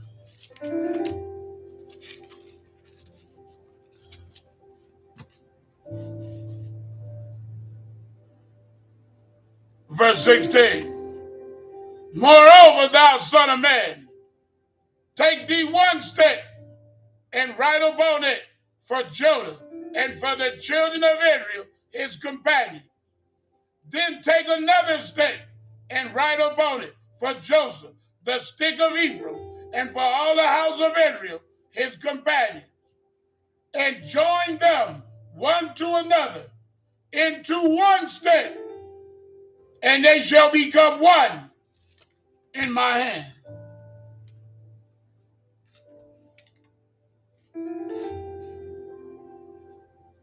The stick also represent the records because that's what the fullness of the gospel is. It's the records of the 10 tribes and Judah, Benjamin, and Levi being put together into one. That's how you get the fullness of the gospel.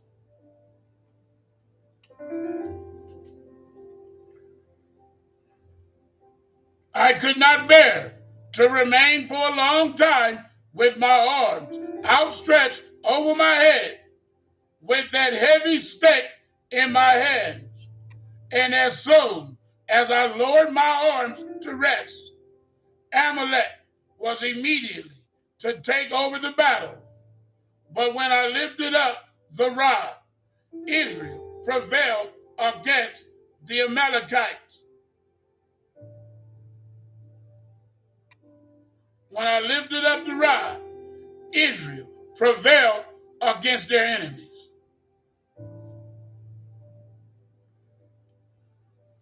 And this, Aaron and Hur in, interrupted me, saying, It is seen by us that your hands, Moses, are too heavy to keep your arms up, your arms raised high. Please let us help you. There go Brother Omar on the land. There go Brother Stanley, Brother Mike, Hugh, and the rest of them that was here last night. The council. There you guys go. Aaron and Hur is those around me, Brother Ty, all of you, that want to help. Can't do it all on your own, elder. Let us help you. But behold, it had not been said by God that I might have help.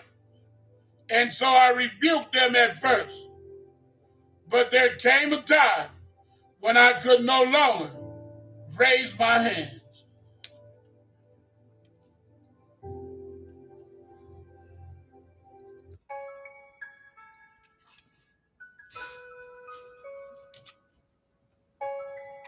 There go yah, Yah. There go all the moderators. Thank you, Media Truth. Thank you, D. Thank you, Daphne. Thank all of you.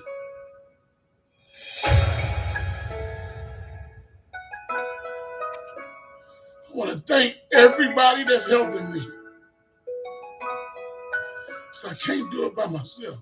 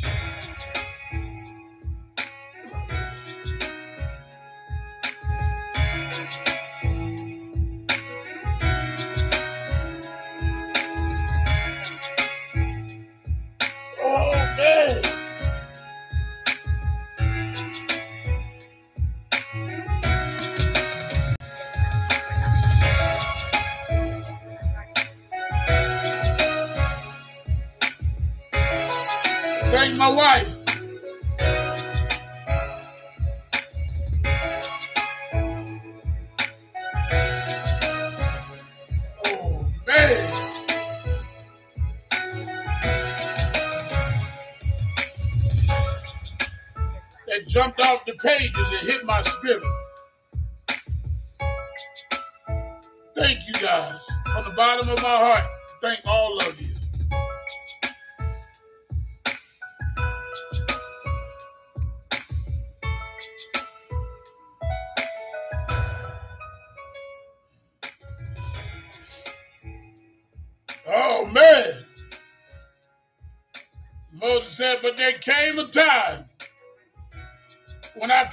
No longer raise my hands to the top and my legs could no longer stand.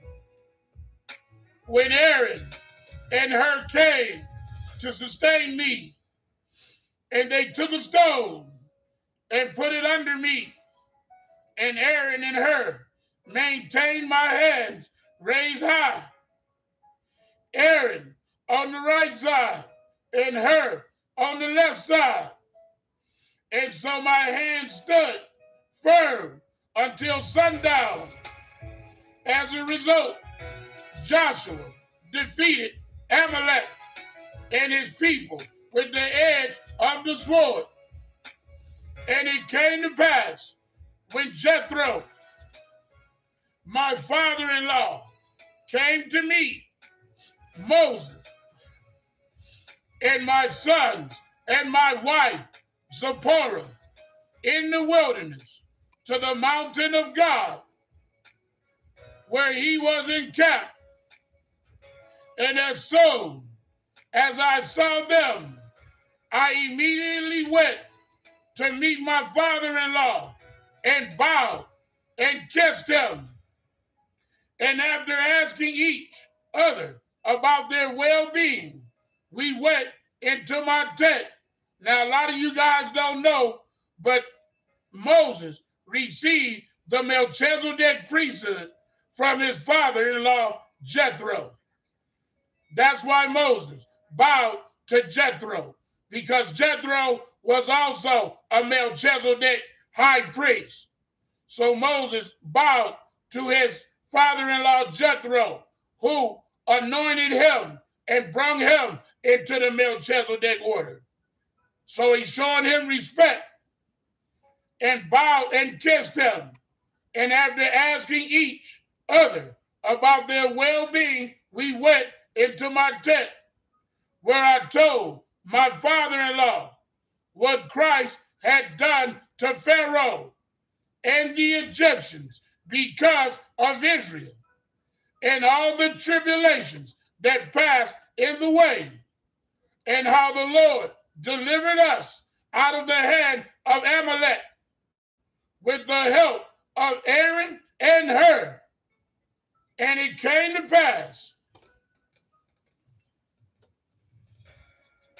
upon my resistance to accept the help of Aaron and Hur that the Lord said to me the next day, It is not good that I should stand alone in the presidency of church of my firstborn.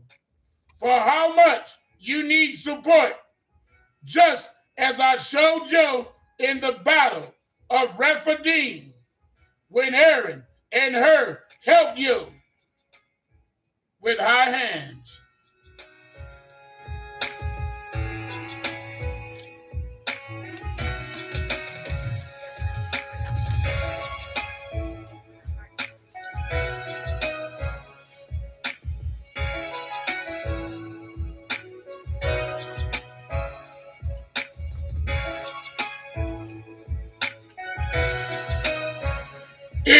History repeating itself?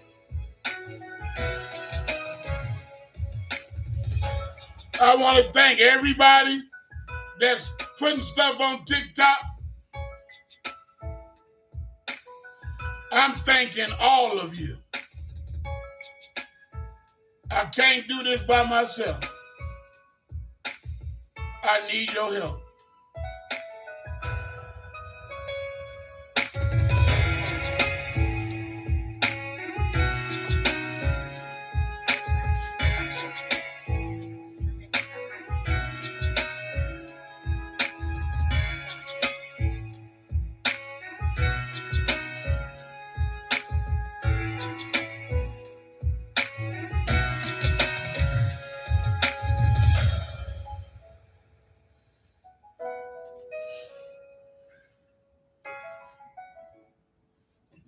Verse 14 Behold, now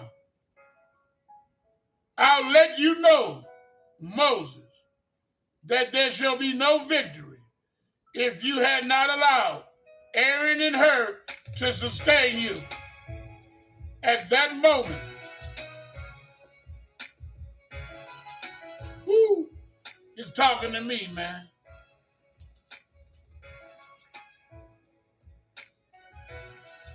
Behold, now I'll let you know, Moses, that there would be no victory if you had not allowed Aaron and Hur to sustain you at that moment. In a similar way, I tell you, behold, the time has come for you to organize my church according to the old order of Enoch, which has been in existence since the days of Adam. For how much my gospel is ever the same, being eternal and unchanging. Stop. The gospel is what? The gospel is what?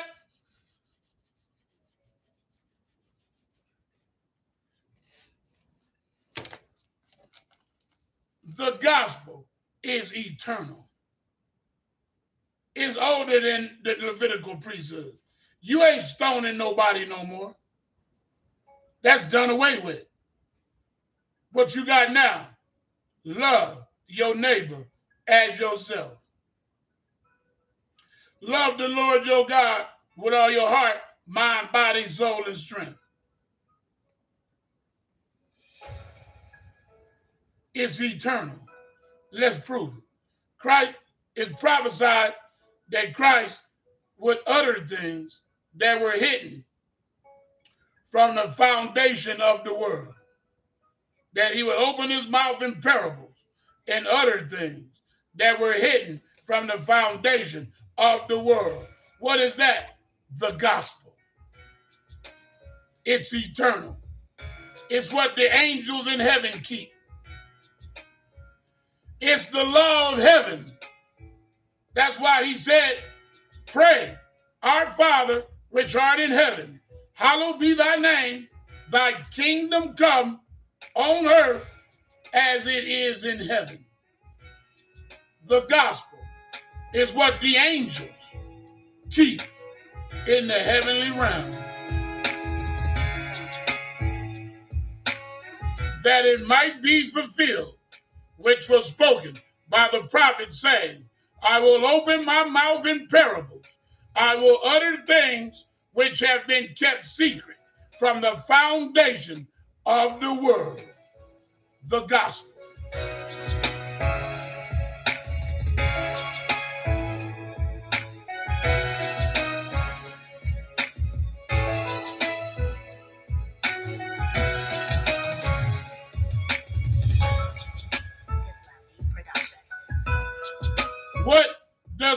Of Ecclesiastes say? That there's nothing new under the sun. That which was is that which shall be. The gospel.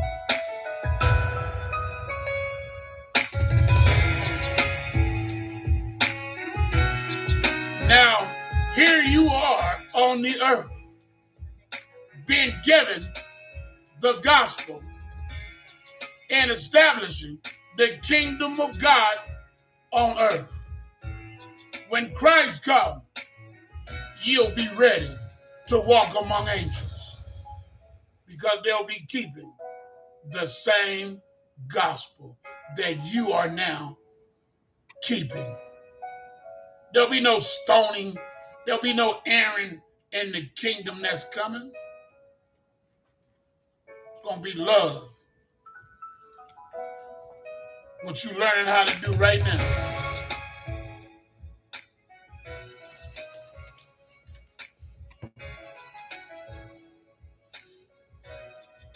So God told Moses, You're going to reestablish the church that I gave to Enoch. My church according to the order of Enoch, which has been in existence since the days of Adam, for how much my gospel is ever the same, being eternal and unchanging.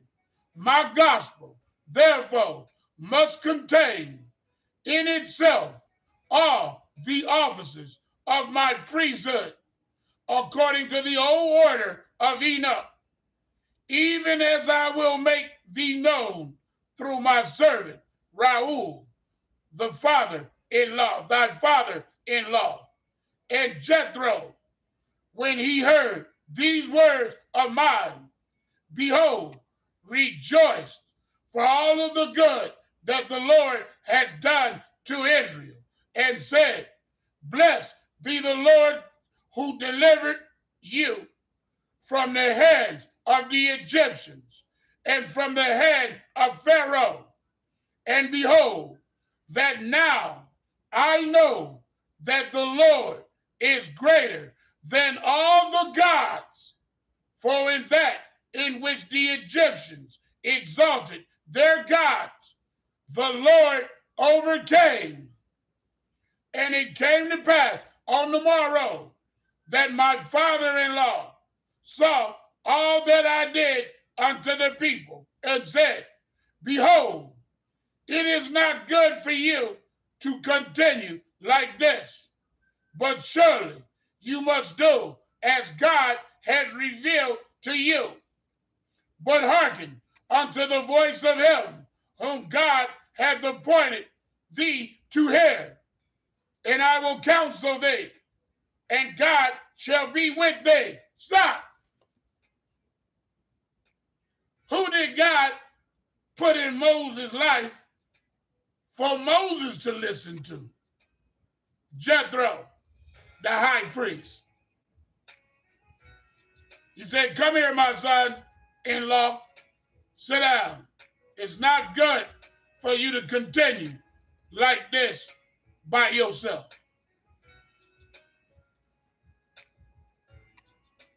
But you, the leader of the people before God, and teach them the statutes and the laws of their church, the gospel, and make known unto them the way in which they should walk and the work which they ought to do. And of thy people Moses, seek out able men, fearful of God, men that cherishes the truth, who hate covetousness, and designate them under your hands to office of elder, each according to what the Spirit of God shall direct they Stop.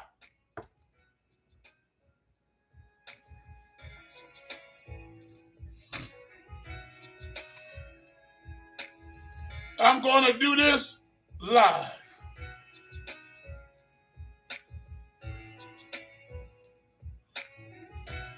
I hear you, Father. Father, every man that's on the council, I now pray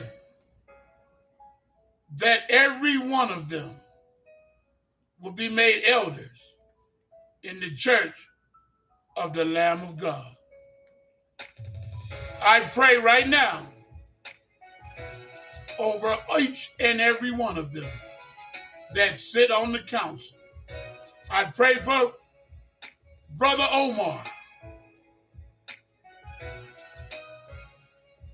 I pray the eldership over the lives of those that are on the land. I pray for Brother Mike out of Oklahoma.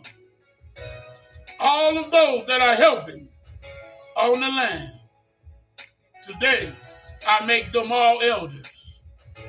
LaFrance, I pray that your eldership will come on their heads and that a greater anointing of leadership will come in their lives. So be it.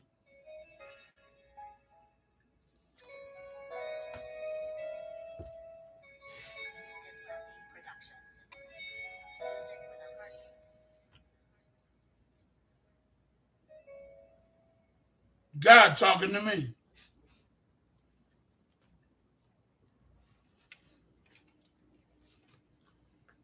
And designate them under your hand to offices of elder, each according to what the Spirit of God shall direct thee. You guys already being directed by the Spirit of God because you're doing what He wants you to do. And thou shalt give him functions in the physical administration of the people of God through the lesser priesthood. We don't operate no more through the lesser priesthood. And give the positions of spiritual administration of the congregation of Israel through the greater priesthood, the Melchizedek order. And since the people are very numerous, appoint officers in the priesthood of Melchizedek and take care spiritually of the congregation, which you will call of rulers. Yea, rulers of a thousand, rulers of a hundred, rulers of fifty, and rulers of ten, that they may judge this people at all times. There go my counsel. Thank you, brothers, that you may judge this people at all times. And let me let everybody on the land know you will submit to this council. Whether you, if you don't like it, you better take it up with God. You will submit to this council.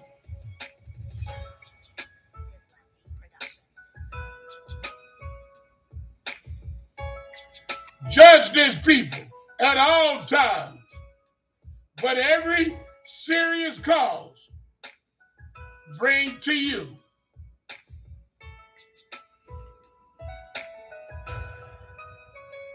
But every real serious cause, counsel, bring it to me. In every little cause, they will judge according to the knowledge that they will obtain through you. And it came to pass that I, Moses, did all that my father in law had said, beginning with him, when I ordained him to the position of patriarch, for he was already high priest. After ordaining him to the patriarchal office, I summoned Aaron as my immediate counselor because he stood beside me in the battle of Amalek. All right, Father.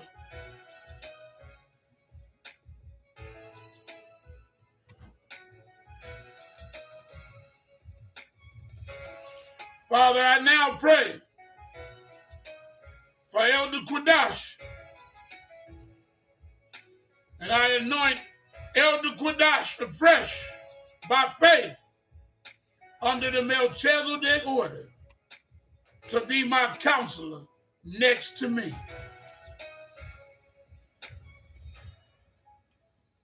Boy, is he setting it in order or what? I had no idea this was even in here. And it came to pass that I, Moses, did all that my father in law had said, beginning with him, when I ordained him to the possession of patriarch. For he was already high priest after ordaining him to the patriarch office. I summoned Aaron as my immediate counselor because he stood beside me in the battle of Amalek. That's what Elder Quadash has been doing, standing beside me and putting in work for the Lord God. Holding one of my arms, and as so as I call a second counselor in the presidency of the Church of the Lamb, Hur for remaining on my left, for remaining on my left.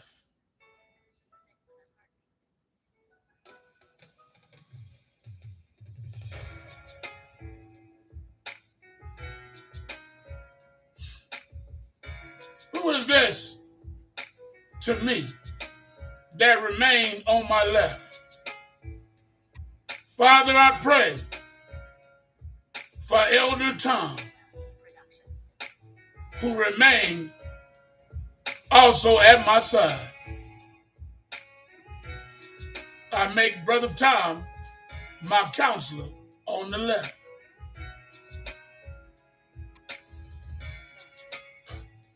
Representing thus each in his calling, my right arm and my left arm. In the spiritual administration of the covenant people.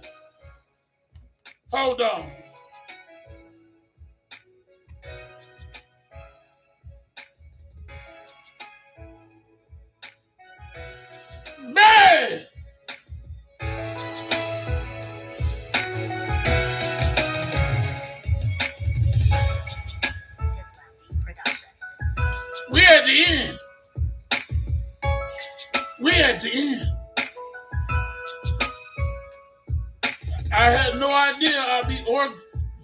What Tom and Stanley and them got going.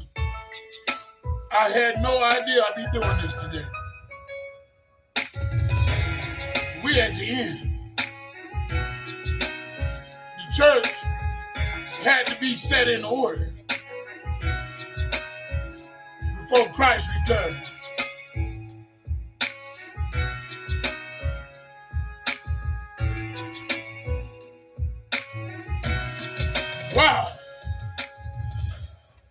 Over time, I have chosen many capable men from all over Israel, and I set them for heads over the people, rulers, rulers, one of a thousand, rulers of hundreds.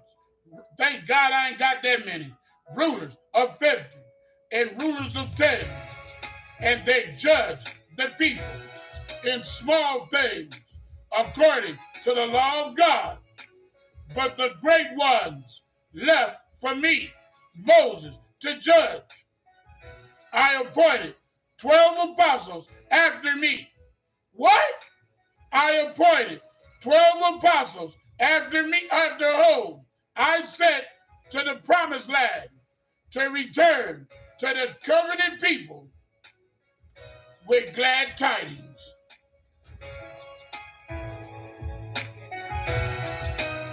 Moses did what?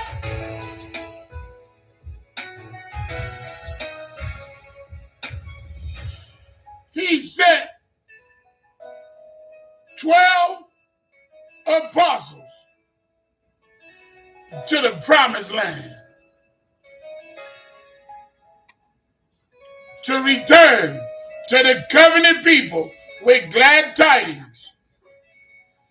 I also appointed 70 according to the ancient order established by God from the beginning of the world in the likeness of the heavenly order. Stop.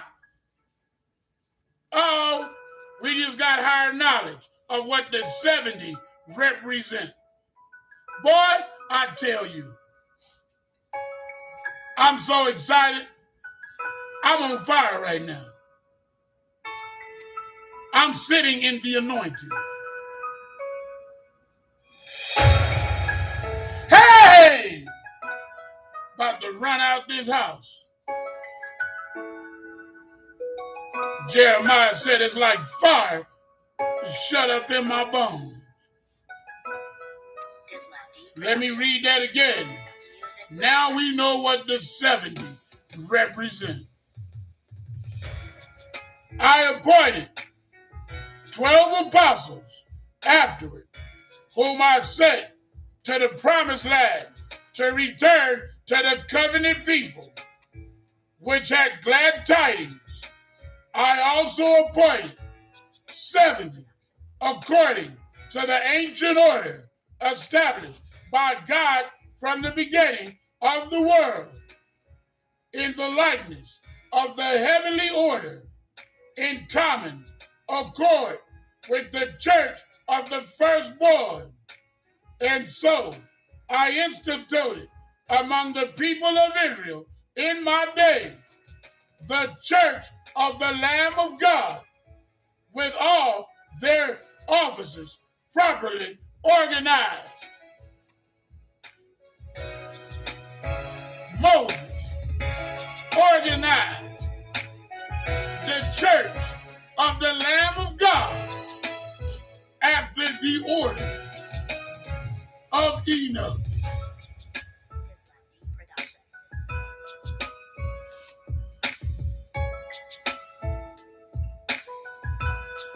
Now you know what was on those two tablets when he first came down the mountain before he threw them and broke them and had to go back and get the Ten Commandments. Now you know. It was the gospel. I told you. That's what's in the Ark of the Covenant. The shewbread represents the body of Christ. What else is in there? The two tablets, not the Ten Commandments.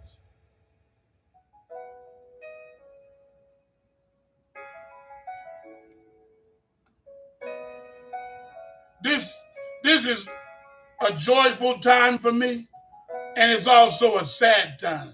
Why? So many of our people will never obtain this knowledge.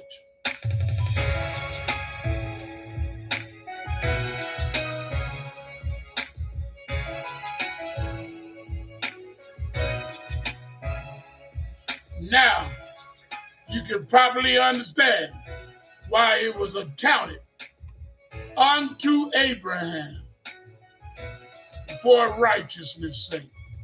Give me Genesis 14 and 18. Now you're going to understand.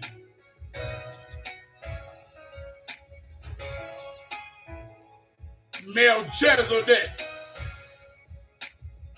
greeted Abram after the battle of the kings, and he brought forth bread and wine.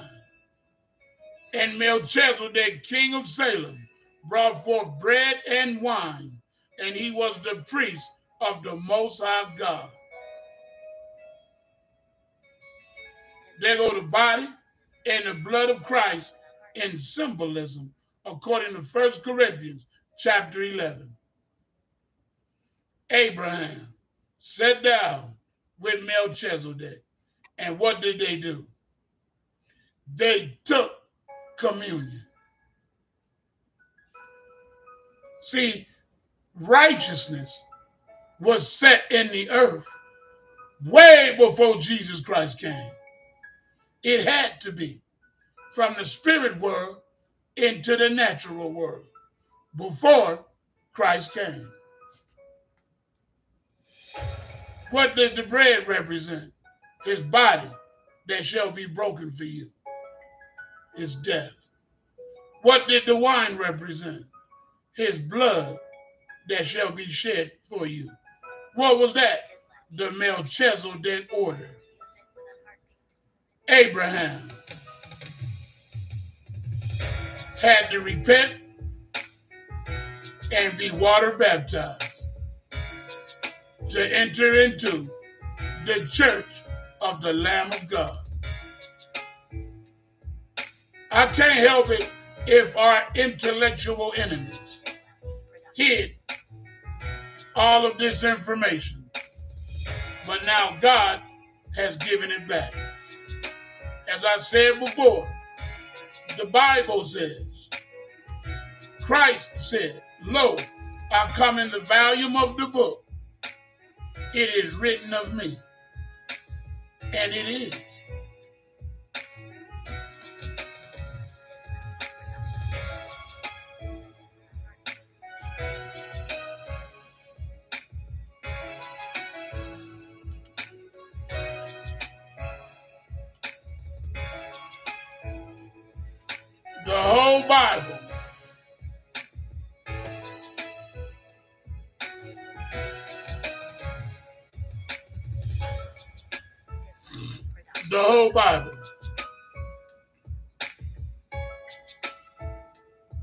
Proverbs 9 5.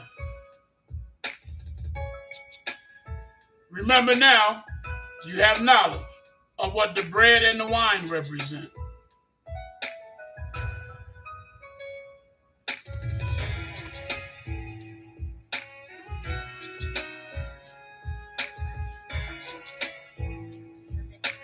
Ecclesiastes 9 7.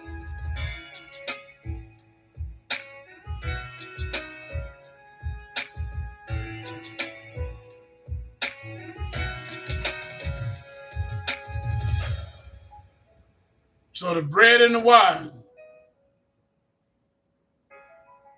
all over your Bible is symbolism. Everybody knew about Christ. That's why they took the bread and the wine. That's why when King David and his men were hungry and they went into the temple, they ate the shewbread.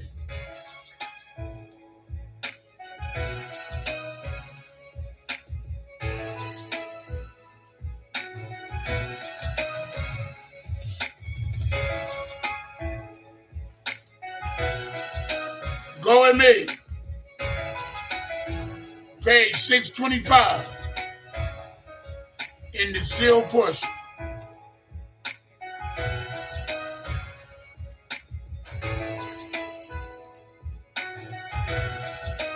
Chapter 7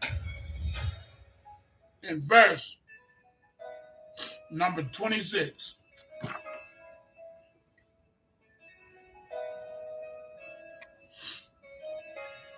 Now I you, do not know what happened among the Lamanites from the time that they fled from before the Nephites went into the wilderness to the time that Ammon traveled among them in the land of Lehi Nephi. For behold, they did not keep records according to the commandments that Nephi had received from the Lord. Nevertheless, I know that they became a wild and a ferocious people who despised the Nephites and tried many times and tried many times to war against them, only to be driven back and slain. And they were taught by their families that Nephi had stolen their authority and had driven them out of the land of their inheritance, which was the most choice land in all the land round about, and was promised to their fathers, the elders, brothers of Nephi. And thus they did harbor an exceeding hatred for the Nephites. And instead of becoming an industrious, hardworking people, the Lamanites hunted wild beasts in the wilderness and depended on plunder to support them in their needs. And it came to pass that the Nephites began to prosper exceedingly throughout the land. And they began to build machines of all manner of devices to help them produce their food. Stop! They begin to build what?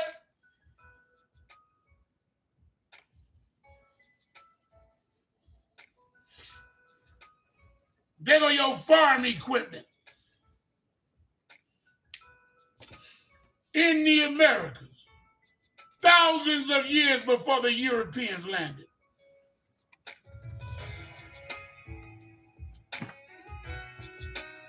You know, what you call Tataria. Here you go.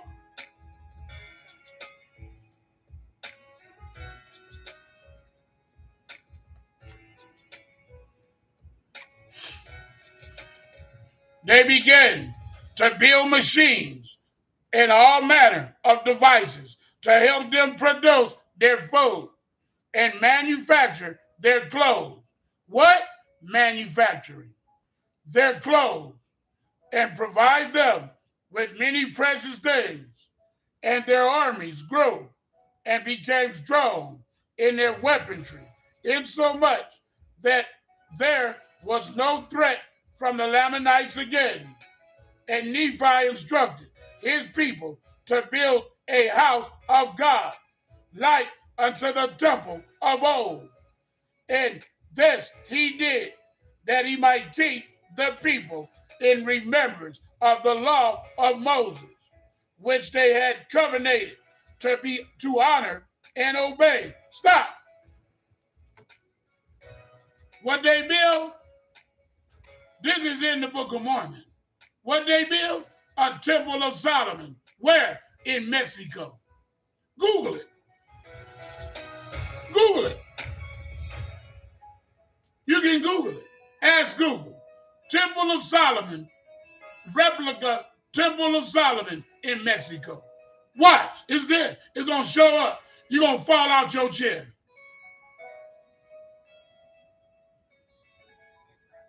in the book of Mormon, he said, Yeah, we built it, but we couldn't build it just like Solomon built it because we didn't have all that gold and fancy stuff that Solomon had.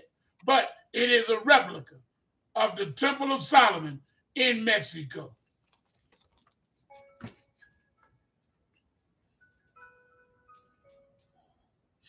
And Nephi was the high priest, having been ordained by his father, Lehi, who had received his authority from the church at Jerusalem at the time when he was a member of the high priesthood. Stop.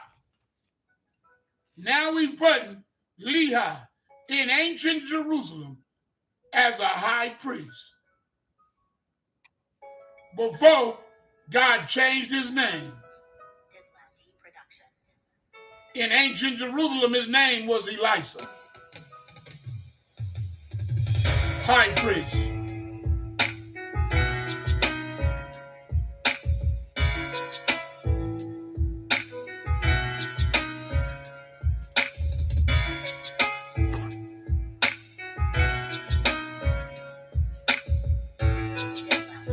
And Nephi was the high priest, having been ordained by his father, Lehi, who had received his authority from the church at Jerusalem at the time when he was a member of the high priesthood and according to the law of Moses.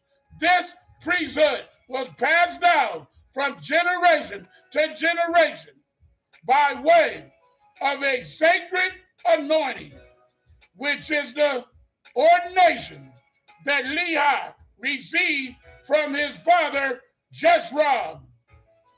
And according to this law of Moses, only the Lord can give or take away the authority of this priesthood, the authority of which can be bestowed upon men, whether they are righteous or wicked. Nevertheless, this power can only be controlled and granted to the bearer upon the principles of righteousness. Behold, though there have been many wicked men who have had the authority of the priesthood bestowed upon them, none of these had the power associated with this authority, which power can only come from God and only by the authority of tradition, or in other words, the lineage of the priesthood, can the ordinances of the law of Moses be performed and sanctioned by the church of God.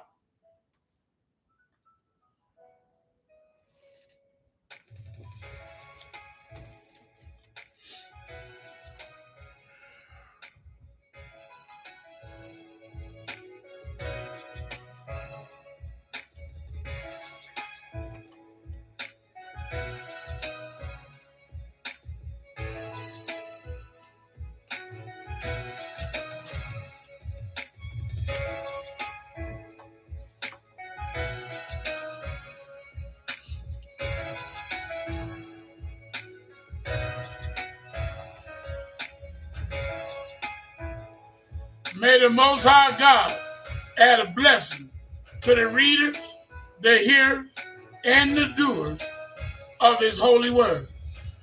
Now, I'll answer some questions, but we always use the Bible to answer the questions. We never give you our own opinion, what we think, or what we feel. We'll answer your questions with Scripture.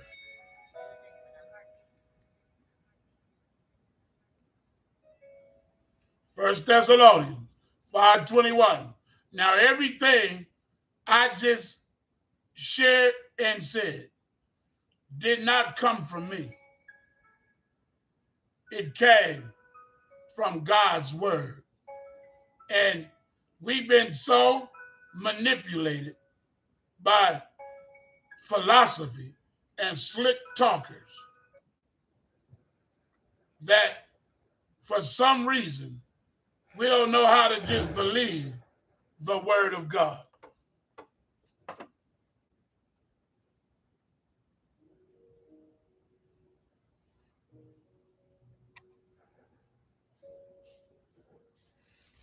This is the only channel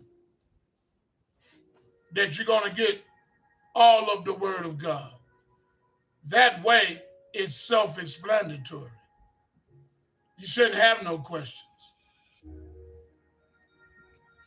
The only reason you have questions is because your computer has been defiled with false knowledge. So now you're going to have to do what I did. Yes, I was a Christian pastor. God had to take my mind, erase everything I thought I knew. All of that studying under the Christian church as a pastor and then later as an evangelist.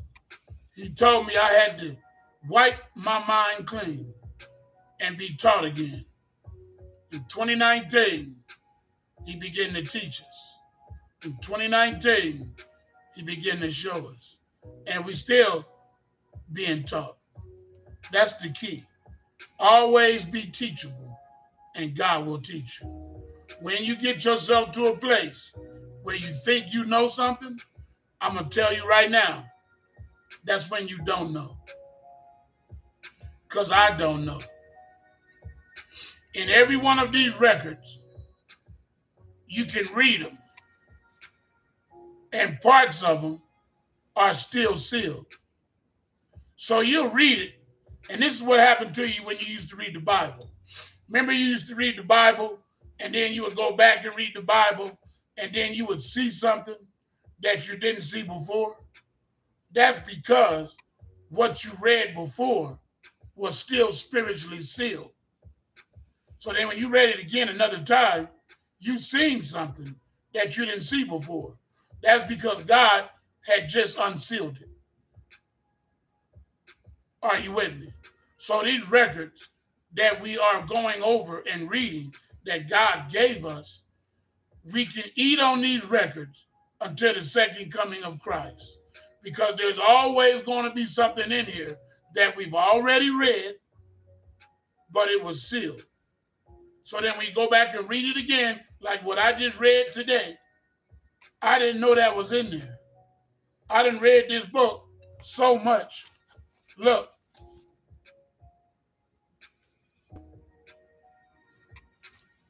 I done read this book so much, is falling apart.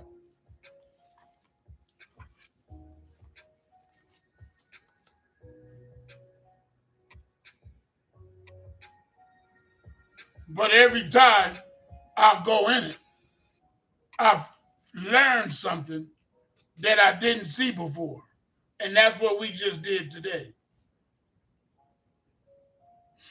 Now I understand why he put the spirit on Stanley to organize the council.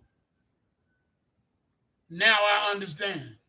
I I seen the spirit on him of urgency that we had to do this. But I was just sitting back waiting for God to give me the confirmation. And he gave it to me today. So now we have the land in order. So now watch this. We in order for a reason. Why today? Because more people coming.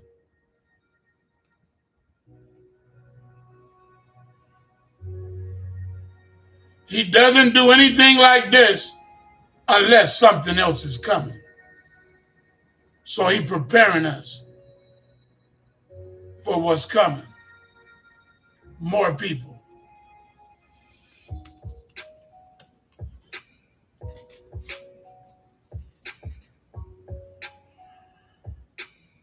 This is not some racist movement.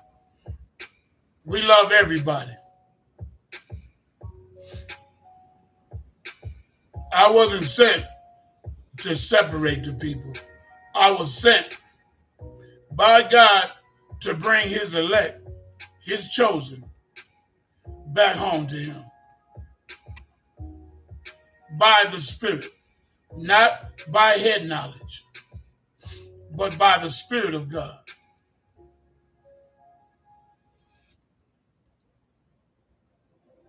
All over the world.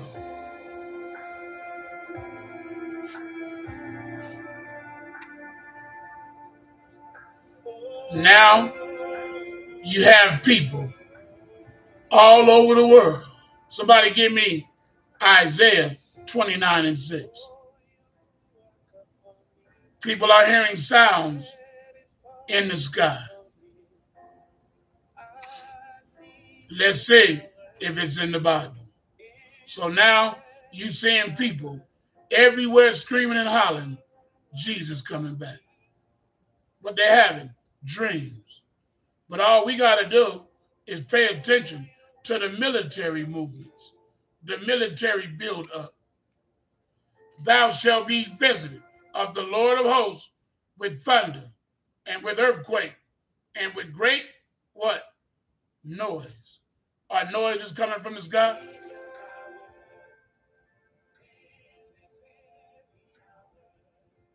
Are noises coming from the sky?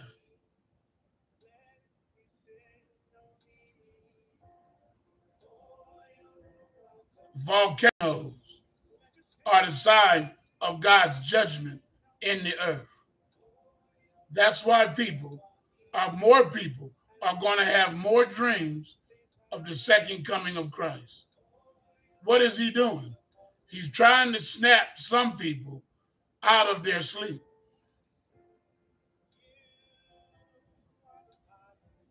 You got military in Texas.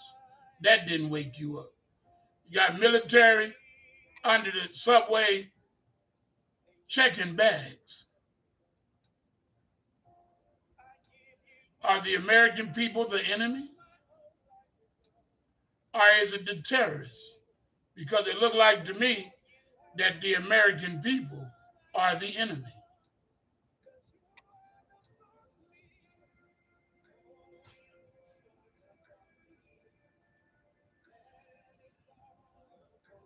Because they're misinterpreting the Bible.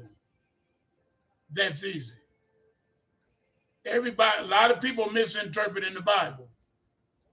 Give me Hebrews 10 26. What they're doing and what they have done to you guys is they manipulated you with the word of God. If Jesus, watch this, if Jesus died for my sins, why did I have to go to the waters of baptism and confess my sins? For if we will sin willfully, after that, we have received the knowledge of the truth, there remaineth no more sacrifice for sins. Stop. I still can sin and still can break the law. So if Jesus died for my sins, why am I still 1 John 1 7 through 9 have to confess my sins? It don't add up, does it? No, because the Bible says in the book of Galatians that Christ was hung on a tree because he became a curse for us. I'm going to teach you right now. But if we walk in the light as he is in the light, that's the law. Proverbs 6:23. We have fellowship one with another because we all agree. And the blood of Jesus Christ, his son, cleanses us from all sin. But if we say we have no sin, we deceive ourselves, and the truth is not in us. See that? If we confess our sins, he is faithful and just to forgive us of our sins and to cleanse us from all unrighteousness. Now, give me the book of Galatians. Let me show you what Jesus died for. Christ has redeemed us from the curse of the law, being made a curse for us. For it is written, Cursed is everyone that hangeth on a tree. Christ became a curse for us. He redeemed us from the curses of the law. Deuteronomy chapter 28, starting at verse 15 to verse 68, are the curses. Somebody give me Deuteronomy 28, 15. We're just going to follow the Bible. Christ redeemed us from the curse of the law. Cursed is everyone that hangeth from a tree. So Christ became a curse while he was hanging on the tree or the cross.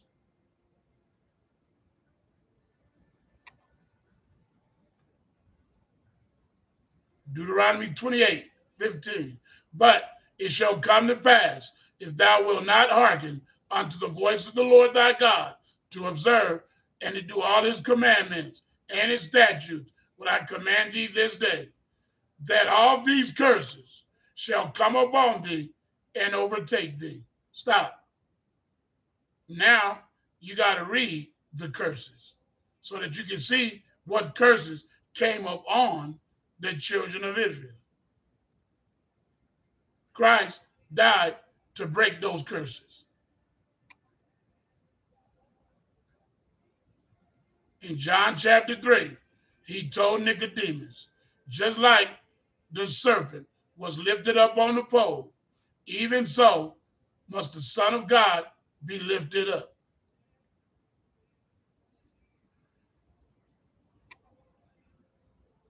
That's right. That's grace. He became a curse for us. We didn't have to do nothing.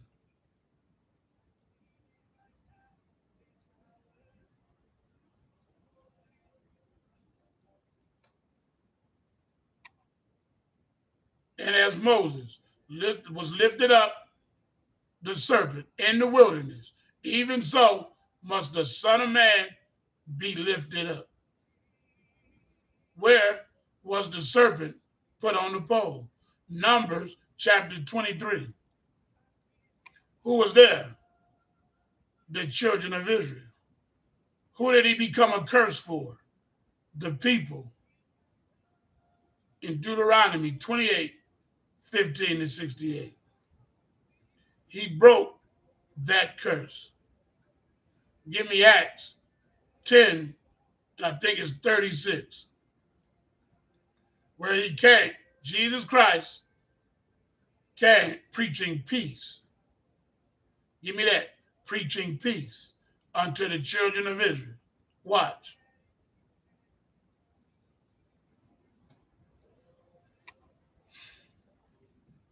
Watch. He came to make peace between God and the children of Israel. The word which God sent unto the children of Israel, preaching peace by Jesus Christ, he is Lord of all. Why? They had the curses on them. Christ became a curse for them, thereby bringing in peace to who? The children of Israel. Waving a white flag, telling the children of Israel that now they can come back to the God of their ancestors. So the Pharisees and the scribes, when they set up the church of God in ancient Jerusalem, they was keeping Aaron sacrificing of animals, but they were still under the curses. And the Lord said unto Moses, Make thee a fiery serpent and set it on a pole, and it shall come to pass that everyone that is bitten, see that? Who was in the wilderness? The children of Israel. So Christ hanging on the cross or the tree was a type of the serpent on the pole.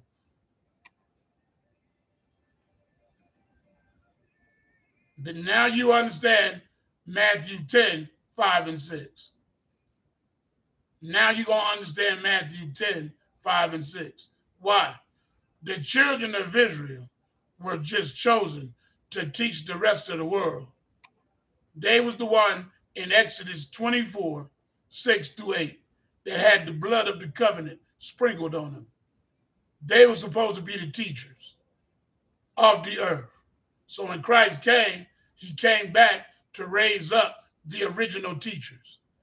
These 12 Jesus sent forth and commanded them, saying, Go not into the way of the Gentiles, and, in, and into any of the city of the Samaritans enter you not, but go rather to the lost sheep of the house of Israel. Why? Those are the ones he became a curse for hanging on the tree. And by him becoming a curse for us, it opened the door for the Gentiles to come in. And Moses took half of the blood and put it on a basin, and half of the blood he sprinkled on the altar. Who there? Who he putting the blood on? This is the Melchizedek order. And he took the book of the covenant and read it in the audience of the people. And they said, All that the Lord had said, we will do and be obedient. And Moses took the blood and sprinkled it on the people and said, Behold, the blood of the covenant. That is the Melchizedek priesthood. You don't do that under Aaron, which the Lord had made with you concerning these words. What words? Deuteronomy 28, 1 to 68. What did they say? All this you have said we will do. And we didn't do it. So, what did I read earlier? About when we go into sin, our God brings our enemy against us to make us remember that he is our strength and our Savior. So now the Gentiles are coming in. Now you being grafted in.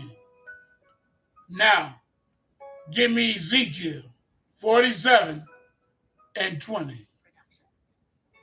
Now you have the New Jerusalem in the book of Revelations. And it got the name of the 12 tribes of the children of Israel on New, Jer- New Jerusalem. Three on the east, three on the west, three on the north, three on the south. Where do the Gentiles come in? Right here. The west side also shall be the great sea from the border till a man come over against Hamath. This is the west side. Watch.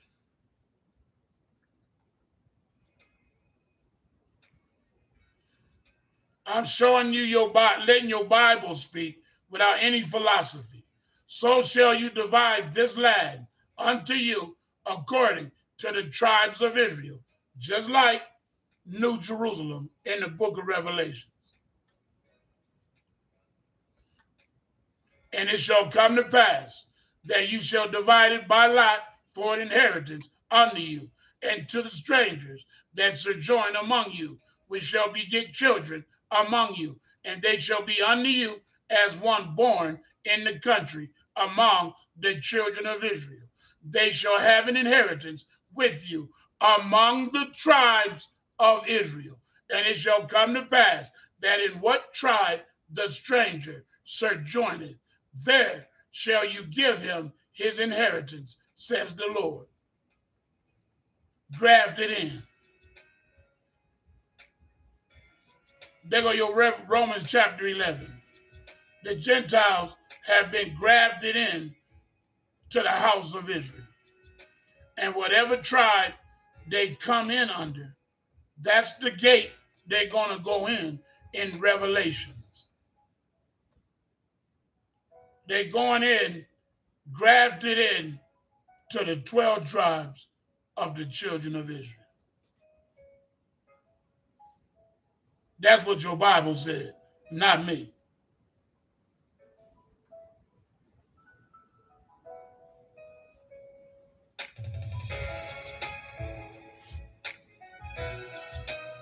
So now, when you go down to the waters of baptism, you confess the sins of your forefathers and your sins. You come up out of the water. That is a demonstration of faith. You did an outward demonstration that Christ died. And when you come back up out the water, that he rose again. And then you make a covenant. When you do that, by faith, and now you have become, in God's eyes, the righteousness of God. Nobody in the whole Bible ever becomes righteous without water baptism. That's why Christ said to John the Baptist, You must baptize me so that I can fulfill all righteousness.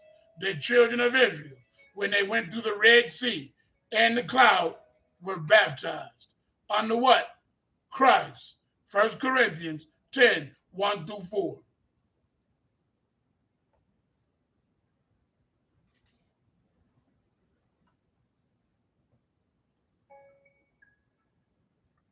This ministry has been chosen by God to go toe to toe with Lucifer.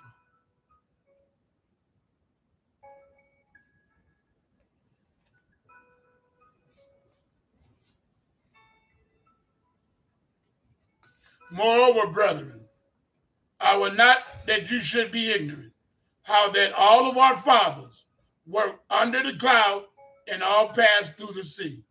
What Moses just got done telling us. And we're all baptized under Moses in the cloud and in the sea, and did all eat the same spiritual meat, and did all drink of that same spiritual drink, for that drank of that spiritual rock that followed them. And that rock was who? Lo, I come in the volume of the book, it is written of me. That cloud by day and fire by night was who you call Jesus Christ.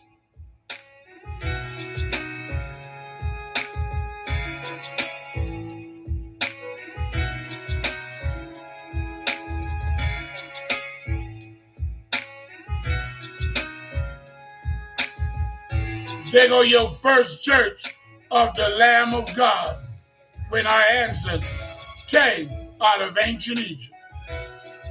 That's why he said, Remember the Passover and remember the beginning of the first church of the Lamb of God.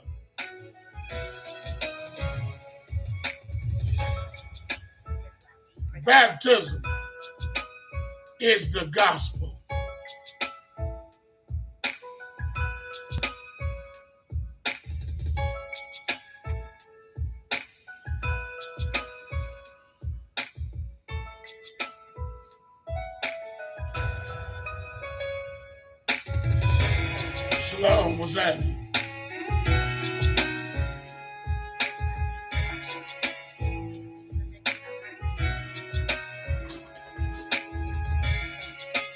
It now?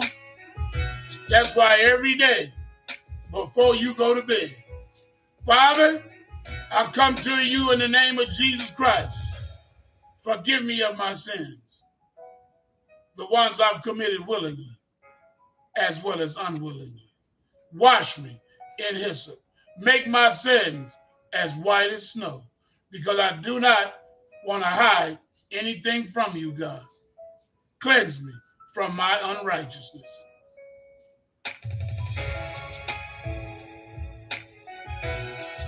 Now, the Holy Spirit is coming in your life. Now, the power of God will be manifested in your house while you sitting on your chair, while you on the back porch, while you on the front porch, while you driving your car out of nowhere. The Holy Spirit will fall on you. Everybody on here that ever had the Holy Spirit fall on you in your car while you was driving, listening to some praise or some worship music, put a number eight in here.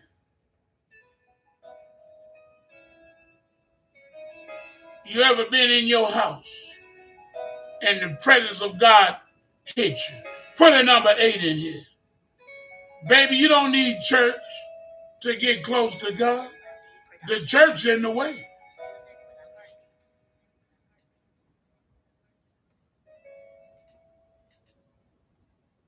This whole time, the church was in the way. So everybody that's been taught that Jesus died for all of their sins, they in sin. And they try, trying to figure out why they can't stop fornicating. That's the sign that you in sin. You can't stop fornicating. You can't stop committing adultery. You can't stop hating people. You can't stop with your racism. You in sin. You got to first get out of sin for God to help you. So I want God to fix my heart. I'm to confess my sins first. Give me uh, Isaiah 59 and 1.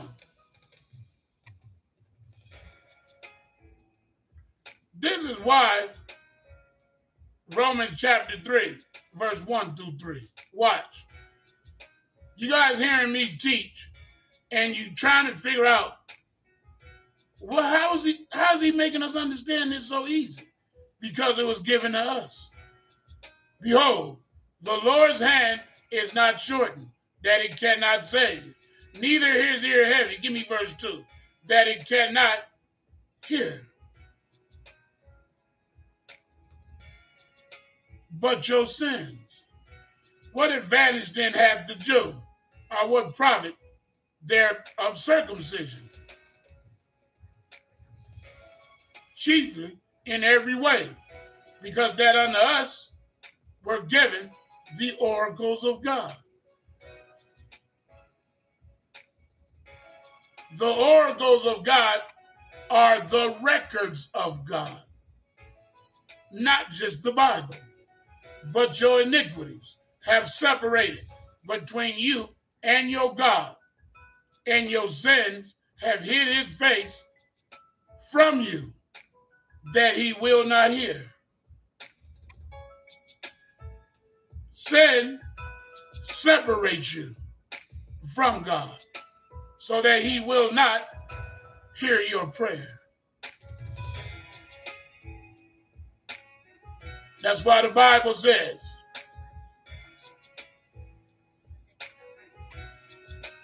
that he that turneth away his ear from hearing the law, even his prayer shall be an abomination.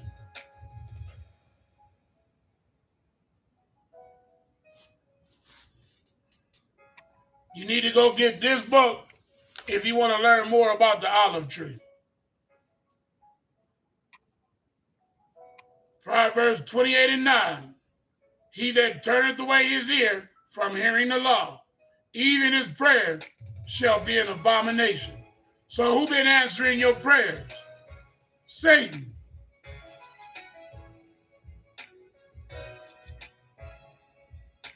Everybody that was taught that they don't have to keep no law, Satan answering your prayers. Good job, Garland. Now we know that God heareth not sinners. That if but if any man be a worshiper of God and doeth the will, him he heareth. What is the will of God? Give me Psalms 40 and 7, 40 and 8. I delight to do thy will, O my God. Thy law is continually in my heart.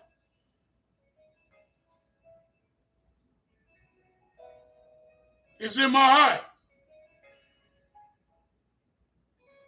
Where can we precept that? With Hebrews 8, 8 to 13. The new covenant.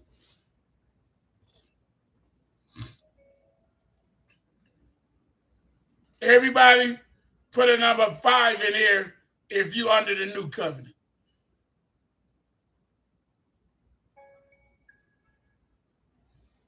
Put a number five in here if you under the new covenant.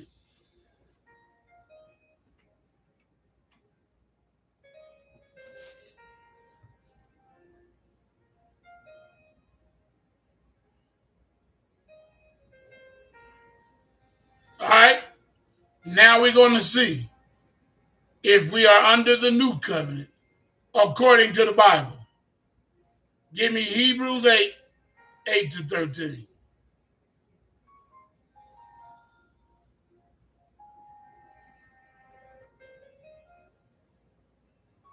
Now we're going to see. We say we under the new covenant. Well, we got to go identify with the new covenant.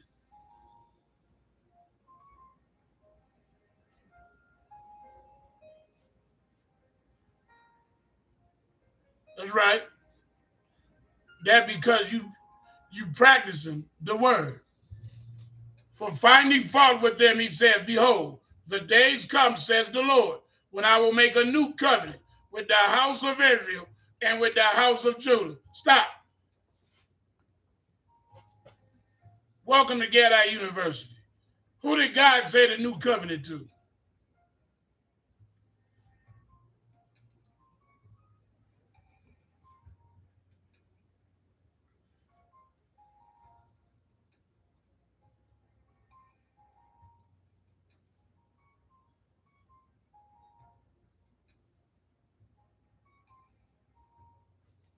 Who did God say the new covenant is to?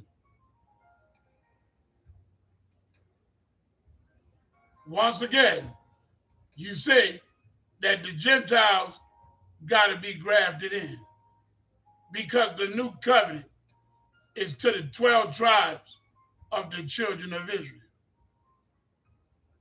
The same people that were part of the old covenant in Exodus 24, 6 through 8. When he sprinkled the blood on the people. That was the first covenant. That's the old covenant. Now we got a new covenant. Who is it to? The same people.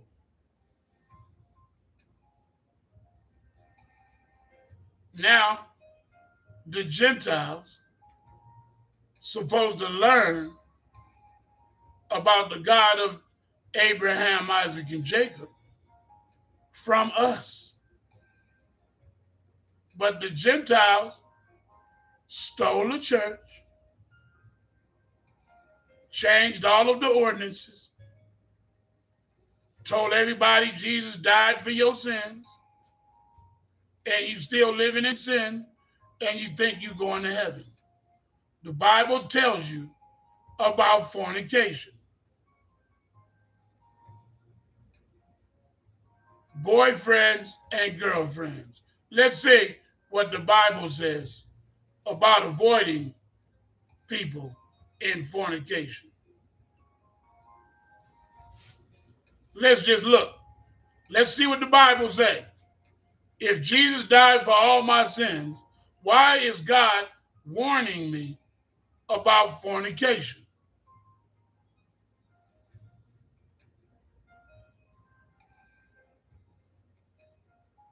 All you got to do is think, brothers and sisters. Don't let the church put in your head something that's not in the Bible.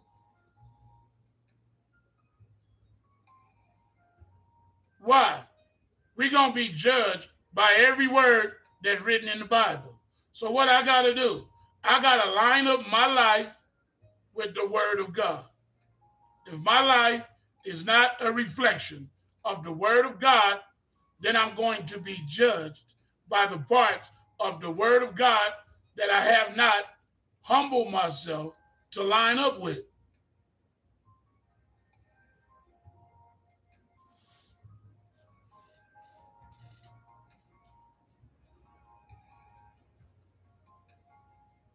Watch. Watch how much God talk about fornication. It's all over the New Testament. He don't even want you hanging out with fornicators. Why? There's a spirit there of what? Lust, perversion.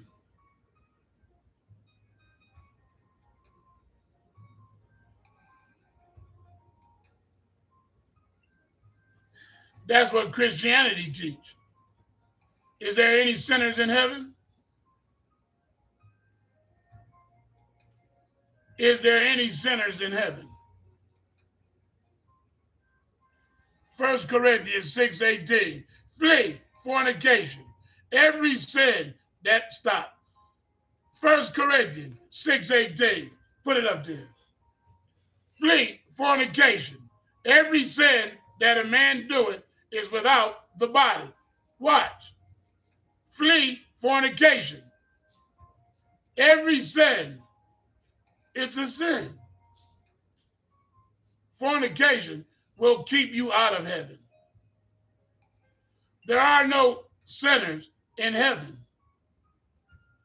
Flee fornication. Every sin that a man doeth is without the body. But he that committed fornication sinneth against his own body.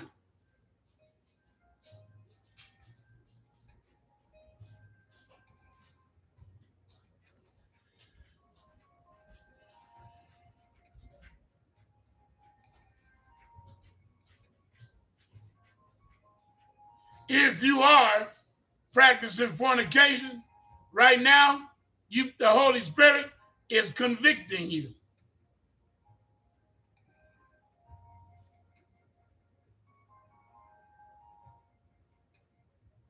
Know you not that the unrighteous shall not inherit the kingdom of God? Be not deceived, neither fornicators, nor idolaters, nor adulterers, nor effeminate, nor abusers of themselves with mankind. They not going. So what I got to do? Make sure I ain't doing none of that.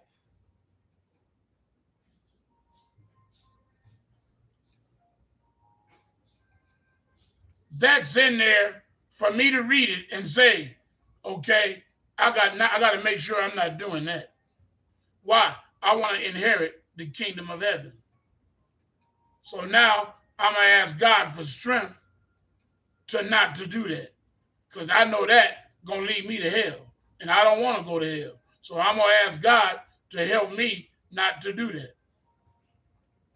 1 John 3 4. Whosoever could have committed sin transgressions also the law. For sin is the transgression of the law. Now let me ask you a question. When Christ was hanged on a tree, was that the law? Or on the cross? Was that the law? I'm just making you think right now.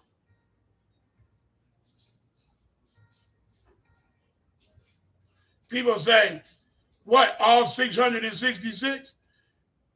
Ba- brothers and sisters, all 666 don't pertain to my everyday life. What are we dealing with on an everyday life? Every day. Let's take let's take a Monday. When you go into the world, when you go into the world to go to work, what you deal with? We're gonna deal with the basic sins that we deal with every day. What? Fornication. What else?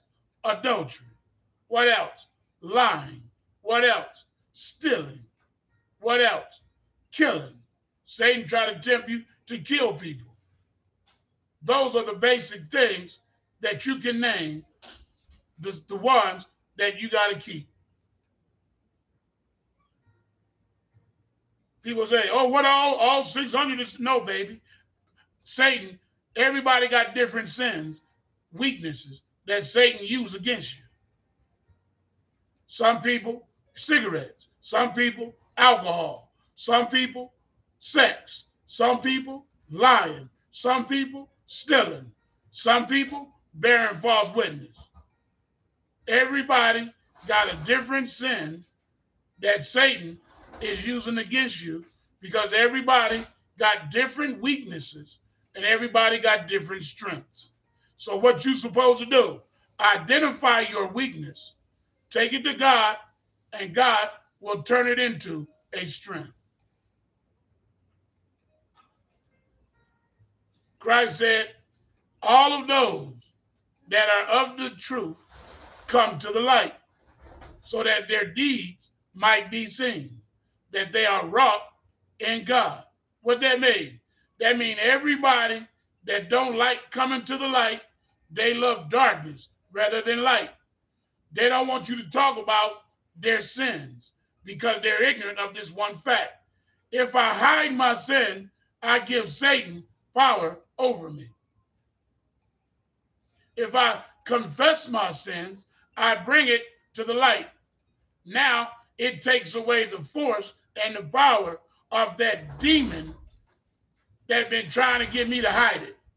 That's why you're always trying to get you to hide sin. Because that's how they keep control over you. And you say, I can't stop sinning because you hiding it. God already it. So why don't you just admit it? If you admit it and say, God, here go my secret sin. What? The Bible tell you about secret sins. Let's get it. All you got to do is fast, pray against the spirit of addiction. You tell addiction to get out of your life. You don't ask Jesus to help you with addiction. You identify and you start praying against it and you start fasting against it and you take authority over it in the name of Jesus Christ and tell it to get out your life. And one day you're going to get up and you're going to throw up and it's going to go because it's subject to faith in the name of Christ.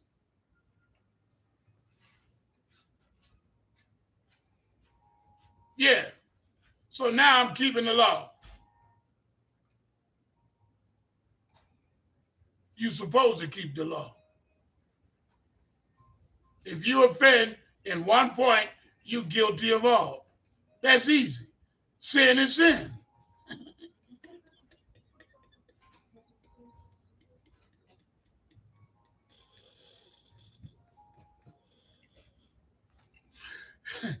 That's why you're guilty of all, because sin is sin. There ain't no little sin, no middle sin, and no greater sin. Sin is sin.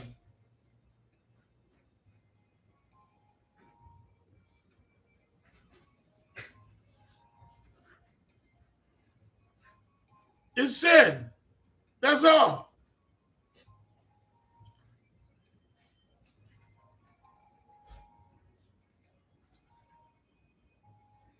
The Bible says that there is no temptation that is not common unto man, but with that temptation, God will make a way of escape. Satan, see, that's why people, I don't understand, but let me explain. When you say Jesus died for all my sins, where the devil at? If Jesus died for all your sins, why is the devil in your bedroom? Why is the devil on your front porch? Why is the devil at your job? Why is he still trying to get you to sin?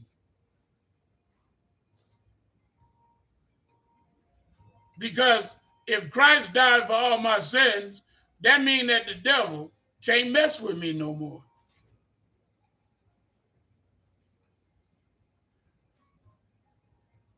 But he's still there, isn't he?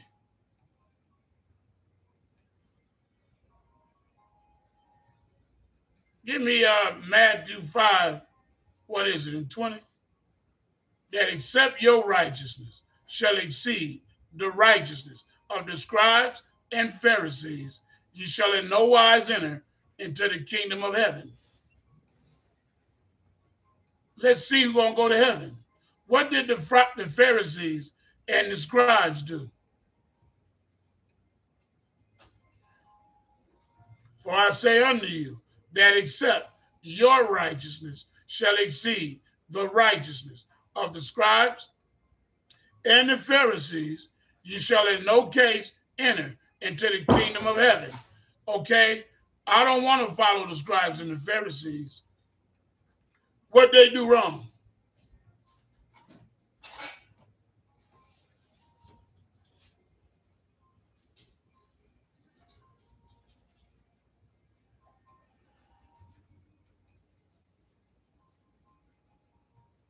There you go. Psalms 19 and 12. Cleanse me from secret faults. Keep me, keep thy servant from presumptuous sins. And let them not have dominion over me. Put that back up again, brother. Garland, you guys need to see this. Let not sin have dominion over me. What did Christ say? He said, sometimes these only go out through prayer and fasting. You got to fast if you want to be free. You got to go to war because a war has been declared against you. You just don't see it as a war because America, through their commercials, have made it all normal. They made sin normal. So when I first got the call from God in 1997, I knew I was dealing with lust. So what did I do? I went and got anointing oil, extra virgin olive oil. I prayed over it after confessing my sins. I prayed over it. Now, the Holy Spirit showed me this. Every day I got off of work, the Holy Spirit would make me go into the shower. Take the anointing oil and anoint my private parts with the anointing oil. And I will be in the shower praying and crying for deliverance. I can't remember how many days or months had went by, but I eventually got delivered from lust. So what did I do? I identified my weaknesses so that I could serve God. That's where most men of God miss it. They get the call of God and then they want to go minister for God and they take lust into the ministry. They take perversion into the ministry when they were supposed to go first into their house and close their door so that they can be purified and cleansed by the Holy Spirit, delivered and anointed by the real Holy Spirit. So what Satan does, Satan comes in and when he know the man got the call of God, he encourages the man to just go to the pulpit. He don't need deliverance. He fine. So the spirit of lust and perversion goes dormant on the inside of the preacher. So now the preacher is good. He's a minister in the church. He's not the pastor yet. So those spirits are contained, dormant inside of him, waiting for the right opportunity. So they wait, and then he becomes the pastor. And then when he becomes the pastor, those lust and perversion resurrects. Now he's sleeping with the church members. And he trying to figure out where it came from. It came from when he first got called to the ministry. It just didn't come because he was the pastor for two years or three years. He had those spirits before he entered into the pulpit. They just went dormant for a season. And then they waited for him to get in a position of power so that they can destroy the church through him. So if a pastor, whatever spirit he got on him, is going to go to the rest of the church. Because the church is supposed to be sanctified in a holy place where evil spirits cannot reside and live. But if I, in my ignorance, because of my secret sins, I open up a door that gives those spirits the legal right to be in that church. So over time, the people in the church are going to start to feel what the pastor is feeling because the same spirit that's on him is now on the church members. This is spiritual warfare at its finest. And another way for Satan to get into the church is for you to play worldly music. It's called false fire. He's always trying to get away into the church to destroy it from within. Using what? Sin. All he got to do is get you to compromise. That's it. To get you to compromise. The church supposed to be holy. The pulpit supposed to be holy. The door's supposed to be prayed over and anointed. All of the pews supposed to be prayed over and anointed with the blood of Christ. Everything on the inside of there. How can you defile that? With sin.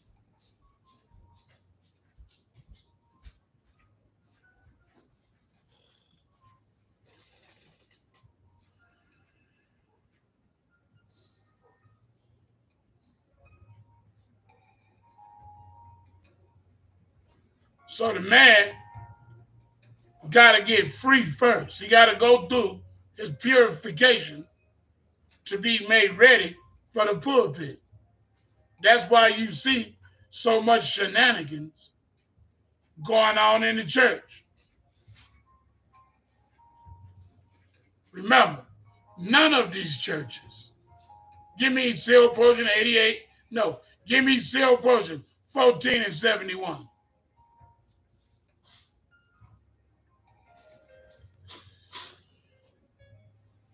Give me Sealed Portion 14 and 71.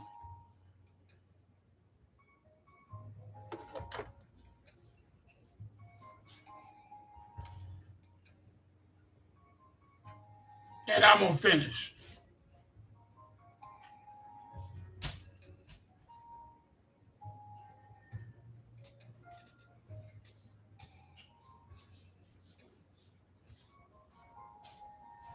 There you go, right there. When these things are made available to the world, then it's time for you to come out of the abominable church. We're going to put that up again. I want everybody to see that. This is a prophecy about where we are right now.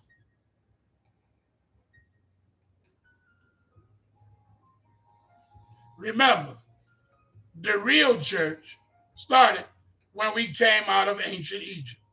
The church of the Lamb of God. The church that was in the wilderness. That's in your Bible, in the New Testament. It tell you about the church that was in the wilderness. We're going to get that next. And when these things have become available to the world in the day that the Lord shall bring them forth. Then shall the world know that the Lord hath begun to prepare his saints by gathering them out of the great and abominable church of the devil. And he shall gather out his saints and give them the mark in their foreheads that the apostle John had described in the record of the Jews. And when he hath marked his saints in their foreheads, then shall he release his judgments upon the great church, which is the mother of all abominations before him. That's happening right now. God's judgment is upon the church. That's why you see in the leaders sins being made manifest.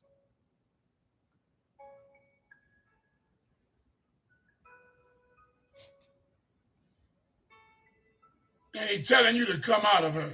Revelations 18 and 4.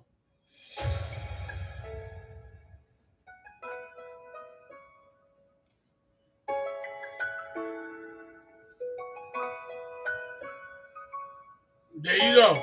Sealed Portion 88 and 60. And when the elect have received the fullness of the gospel, which is the seal of God in their foreheads, then they shall begin to prepare themselves for the coming of the Lord. We preparing ourselves right now for the coming of the Lord.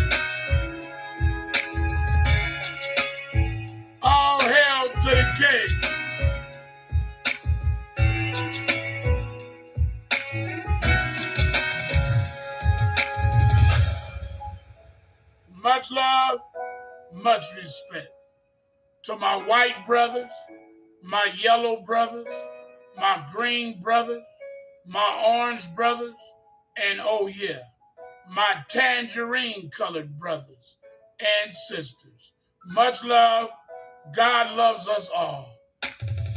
All he doing right now is he's giving us a higher knowledge of our history and ourselves to prepare us for the coming of his son. I love each and every one of you with the love of the Lord.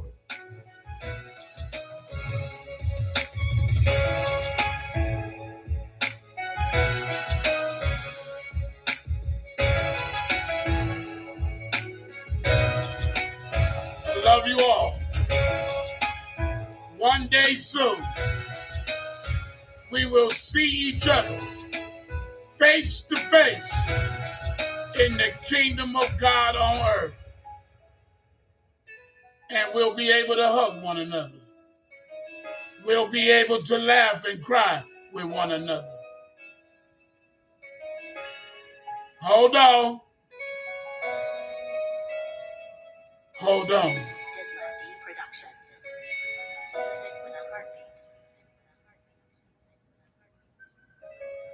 Remember, Don't let anger into your heart.